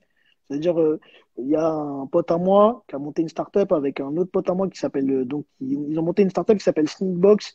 Et hier, il disait une, une, phrase qui était complètement ouf, mais qui est réelle il, disait, nous, euh, des millionnaires à Station F, on en voit tous les jours. Et c'est vrai. Et en fait, je m'en suis rendu compte, enfin, je l'avais déjà en tête, hein, mais je m'en suis rendu compte quand il l'a dit. Tu vois? Et je, me suis, et, je me suis même rendu compte que être à Station F pour nous, c'était un truc de ouf quand euh, ils sont venus et qu'ils ont été euh, acceptés, en fait, et que quand ils marchaient et tout dans Station F, pour eux, c'était un truc de ouf. Et moi, je me suis dit, euh, en vrai, j'ai pas conscience de la chance que j'ai, tu sais, au-dessus de mon bureau. Bah, t'es déjà venu. Au-dessus de nos bureaux, il y a Google, il y a. Enfin, C'est ouf, tu vois. C'est ouf la vitrine qu'on a. Après, il faut se bouger. C'est vraiment la mentalité qu'un riz. Si tu ne bouges pas, c'est comme partout, il va rien se passer du tout. Mais si tu te bouges avec, franchement, dans les équipes, etc., tout le monde est bienveillant, tout le monde est là pour te pousser. Si tu te bouges, il n'y a pas de raison pour que. Après, on n'est pas là pour te prendre par la main. Attention. c'est typiquement Carrie, c'est comme tu disais tout à l'heure. Si tu taffes pas et que tu sautes, il faudra pas te plaindre. Ouais, voilà, c'est ça, c'est constamment obligé de, euh, ouais, de, de, de, te surpasser, de bosser plus. Euh, mais tu vois, comme euh, ils disent, ah bah, ils ont une expression en anglais, c'est to start from scratch. En gros, tu démarres de, de rien. Ouais, on l'a plus, as plus des, des récits comme ça bah, à l'étranger, tu vois, enfin, tout cas avec la mentalité anglo-saxonne ou anglophone plutôt que chez nous. Chez nous, euh, par exemple, dans le récit, euh, oh oui, mais c'est le petit banlieusard musulman qui a réussi, euh, alors que là-bas, en fait, tu as réussi. on, va peut-être parler, on va peut-être parler vite fait une fois dans ta vie de, de quitter, mais on va surtout parler de ce que tu as fait, comment tu l'as fait, euh, quel est ton produit, ton application, etc. Enfin, ce que tu as apporté, pourquoi, comment tu comment t'en es arrivé là, etc. Ouais, c'est vrai. Oui. Et ça, c'est vrai, vrai. Ça. Et bah après, je pense que c'est pour ça qu'on est là, tu vois, quelque part. Je pense que euh, euh, Osama me, contre, me contredira pas quand si on parle de ligne de vie et qu'on parlera d'objectifs dans ce qu'on fait. Euh, nous, nous, bah, si on fait cet focus aujourd'hui, c'est c'est pour être utile aux autres, tu vois. Et euh, si on fait quelque chose qui est inutile ou qui est pas dans notre euh, comment on appelle ça, qui est pas en fait dans, dans, dans le mindset qu'on veut défendre. Tu vois, c'est des décisions, bah, tu sais comment on travaille, c'est des décisions qu'on prend à trois. Il y a, y a Mohamed Kamara dont je parlais tout à l'heure qui, qui vient de rejoindre le live et euh, qui dit, c'est lui qui a dit hier, euh, je redis ce qu'il disait, qui, qui, a dit hier, on croise des millionnaires tous les jours, tu vois, et, et c'est ouf en fait, tu vois. Moi, je me, je me rends compte qu'avec mon associé, on a des discussions.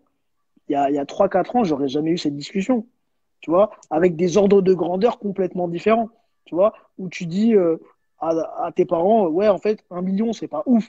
Alors que pour eux, c'est un, c'est, un truc de ouf. Un million, mais au vu de tes ambitions et des gens avec qui tu traînes, parce que nous, on, connaît des gens qui ont levé beaucoup d'argent. J'en connais, ils, sont, ils sont vraiment dans mon cercle proche. Ils ont levé beaucoup d'argent. Ça veut, et lever beaucoup d'argent, ça veut pas dire que c'est de l'argent qui est dans leur poche, mais c'est de l'argent qui est dans leur boîte. Et c'est de l'argent quand même qu'ils peuvent utiliser, tu vois.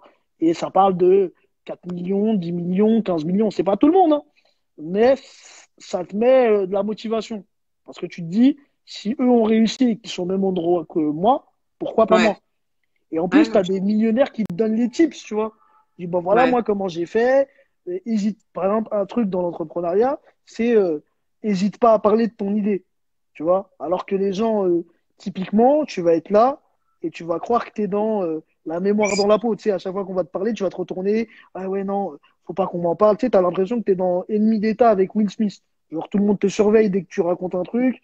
Alors que non, tu vois. En fait, tu peux parler de ton. Bon, après, faut pas non plus euh, aller, aller se griller tout seul, mais tu peux en parler à, des gens autour de toi. Enfin, faut se dire que les gens vont pas arrêter leur vie pour mettre en place ton idée. C'est ça ah, aussi. Non, non. Non, non, je suis d'accord. après, ça, c'est vrai que c'est bah, ouais, c'est ce qui fait la différence entre euh, la mentalité française et la, la mentalité euh, anglophone. Hein. Bah oui.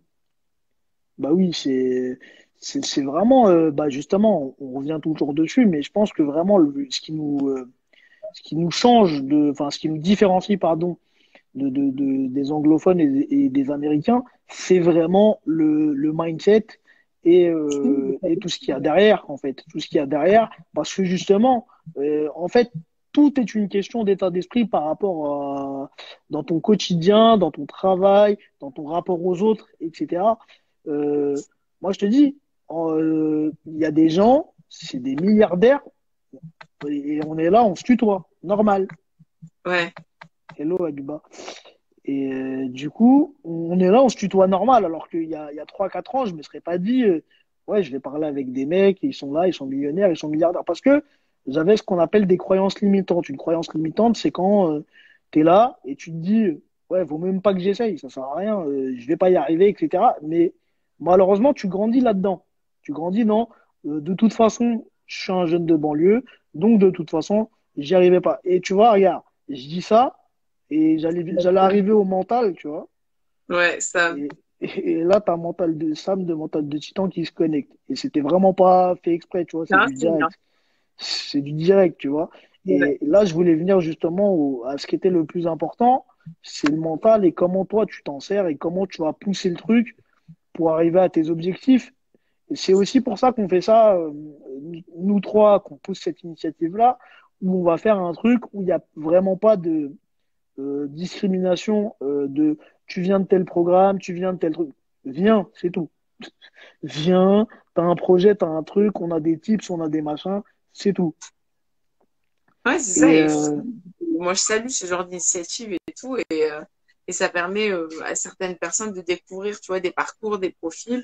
Et, euh, et puis même de se motiver, euh, de s'inspirer. C'est hyper important.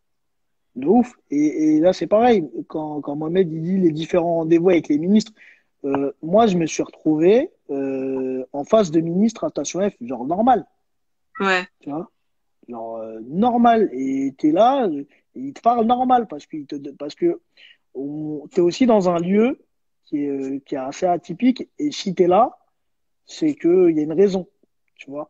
Et, et en fait, c'est un lieu où tout le monde est accessible. Tu vois, c'est une espèce de euh, la station, c'est une espèce de bulle de bienveillance. Tu vois, t'arrives, tout le monde va te dire ah ouais. Moi, j'étais allé avec euh, un mec de mon quartier une fois, et les gens sont venus le voir, ils lui ont dit ah ouais, c'est quoi ton projet? Alors que lui, euh, ouais, Skip, c'est mon anniversaire, euh, le petit Sam, ouais, c'est Facebook qui m'a balance. Mais tu sais, il est arrivé, il a dit direct, ouais, donc moi j'ai pas de projet, je suis juste un, un mec du quartier, etc. Mais il a commencé à s'intéresser à toute cette mentalité-là, et là aujourd'hui il monte un projet, tu vois? d'accord. Ouais, Et c'est ouais, vraiment ça. parce qu'il est allé là-bas et qu'il a goûté à ce truc-là Ouais. qu'il monte un projet, tu vois. Non, mais il faut, hein. Il faut, hein. C'est pour ça que, tu t'as plein d'initiatives où, euh, surtout les plus jeunes, pour leur dire que tout est possible à partir du moment où on s'en donne les moyens et qu'on travaille, quoi. De ouf. Merci Tissem pour cette petite euh, dédicace. J'ai eu le droit à une chanson dans mon live. Merci Amina. Merci De nous avoir, euh, merci de nous avoir donné euh, de ton temps, de ces tips. Ben, merci à toi, surtout pour l'invitation, hein. Non, c'est normal, c'est normal. Pour nous, tu es, tu, tu es une légende locale, tu le sais. Et euh, on est très très heureux de t'avoir eu. Je pense que c'est pas la première fois ni la dernière que de toute façon on, on t'aura dans nos lives. Tu reviens quand tu veux avec plaisir. Tu nous as donné, moi, moi personnellement hier, tu m'as donné beaucoup de force avec ton live aussi. Je crois que je te l'ai dit en, en Oui, tu m'as dit, ça m'a fait trop plaisir. Et Ouais, ouais, tu m'as donné beaucoup de force parce que j'étais. euh, Heureusement qu'il y, y a eu mon équipe pour, euh, pour me relever parce que j'étais un peu dans le mal hier euh, sans vouloir rentrer dans les détails. Mais bon, aujourd'hui, je me rends compte que justement, bah, ce qu'on fait, ce qu'on fait justement, ça, ça, ça a du crédit, c'est suivi par des gens que je tiens à remercier. Je tiens une nouvelle fois à remercier toute l'équipe, donc à savoir Mohamed, euh, Emana et euh, toutes les personnes qui sont ici. Euh, toutes les personnes qui ont posé des questions, ceux qui ont eu peur de poser des questions, n'hésitez pas à les poser en privé. Il n'y a pas de questions bêtes. Et puis, euh, si vous voulez intervenir, vous vous positionnez comme des intervenants, venez. Juste, je tenais Là, juste oui. à, à- à dire, à dire un petit mot. Vas-y. Donc, demain, il y a un live de Ça va parler, c'est à quelle heure? Ah, En euh, fait, voilà, voilà, c'est c'est la famille, ça nous donne de la force et donc on est dans l'obligation. Puis même, euh, je mettrai, je mettrai l'horaire parce que je sais pas si c'est 16h ou 17h, je dois voir, mais j'aurai quelqu'un d'hyper inspirant qui s'appelle Anissa. Et, euh, mais je mettrai ça en story demain. donc voilà, je tenais juste à dire ça. Et ah oui, petite pression. J'arriverai un peu en retard parce que moi, à 15h, j'ai un live, mais j'arrive juste après. Promis. Malheureusement, le live, euh, au vu de la qualité du débit Internet, ça s'est pas passé comme prévu. Donc, on est seulement sur YouTube et en retard. D'accord. Malheureusement. C'est des choses qui arrivent. Le plus important, c'est que C'est pas un souci, c'est pas un souci. On devait être, on devait être sur d'autres plateformes aujourd'hui. On n'a pas réussi, mais on, on, va, on va persévérer dans cette voie. On va persévérer dans cette voie, il n'y a, a, pas de souci. Et, et, et, voilà, on va, on va continuer à avancer. Mais en tous les cas, merci à vous de nous avoir suivis encore une fois. Merci à la régie, merci à Manar, qu'on voit pas. Il restera plus que Manar qui est le personnage mystérieux. Le personnage mystérieux. Manar, c'est la légende. C'est la légende qu'on ne connaît pas et qu'on a hâte de découvrir. Mais, mais, mais, mais tu sais que c'est grâce à elle qu'on a eu beaucoup de gens qui sont arrivés dans ce live, etc. Et je tenais à la remercier. Ouais. Euh, je tenais à la remercier. Et aujourd'hui, bah, je tenais à tous vous remercier. Et on revient vendredi avec un, avec un autre. Euh, avec, je suis en train de lire un commentaire et c'est pour ça que je veille un petit peu. Mais euh, avec un autre euh, avec un autre intervenant, enfin deux autres intervenants d'ailleurs. Euh, Abiba, c'est pas grave, il n'y a pas de souci.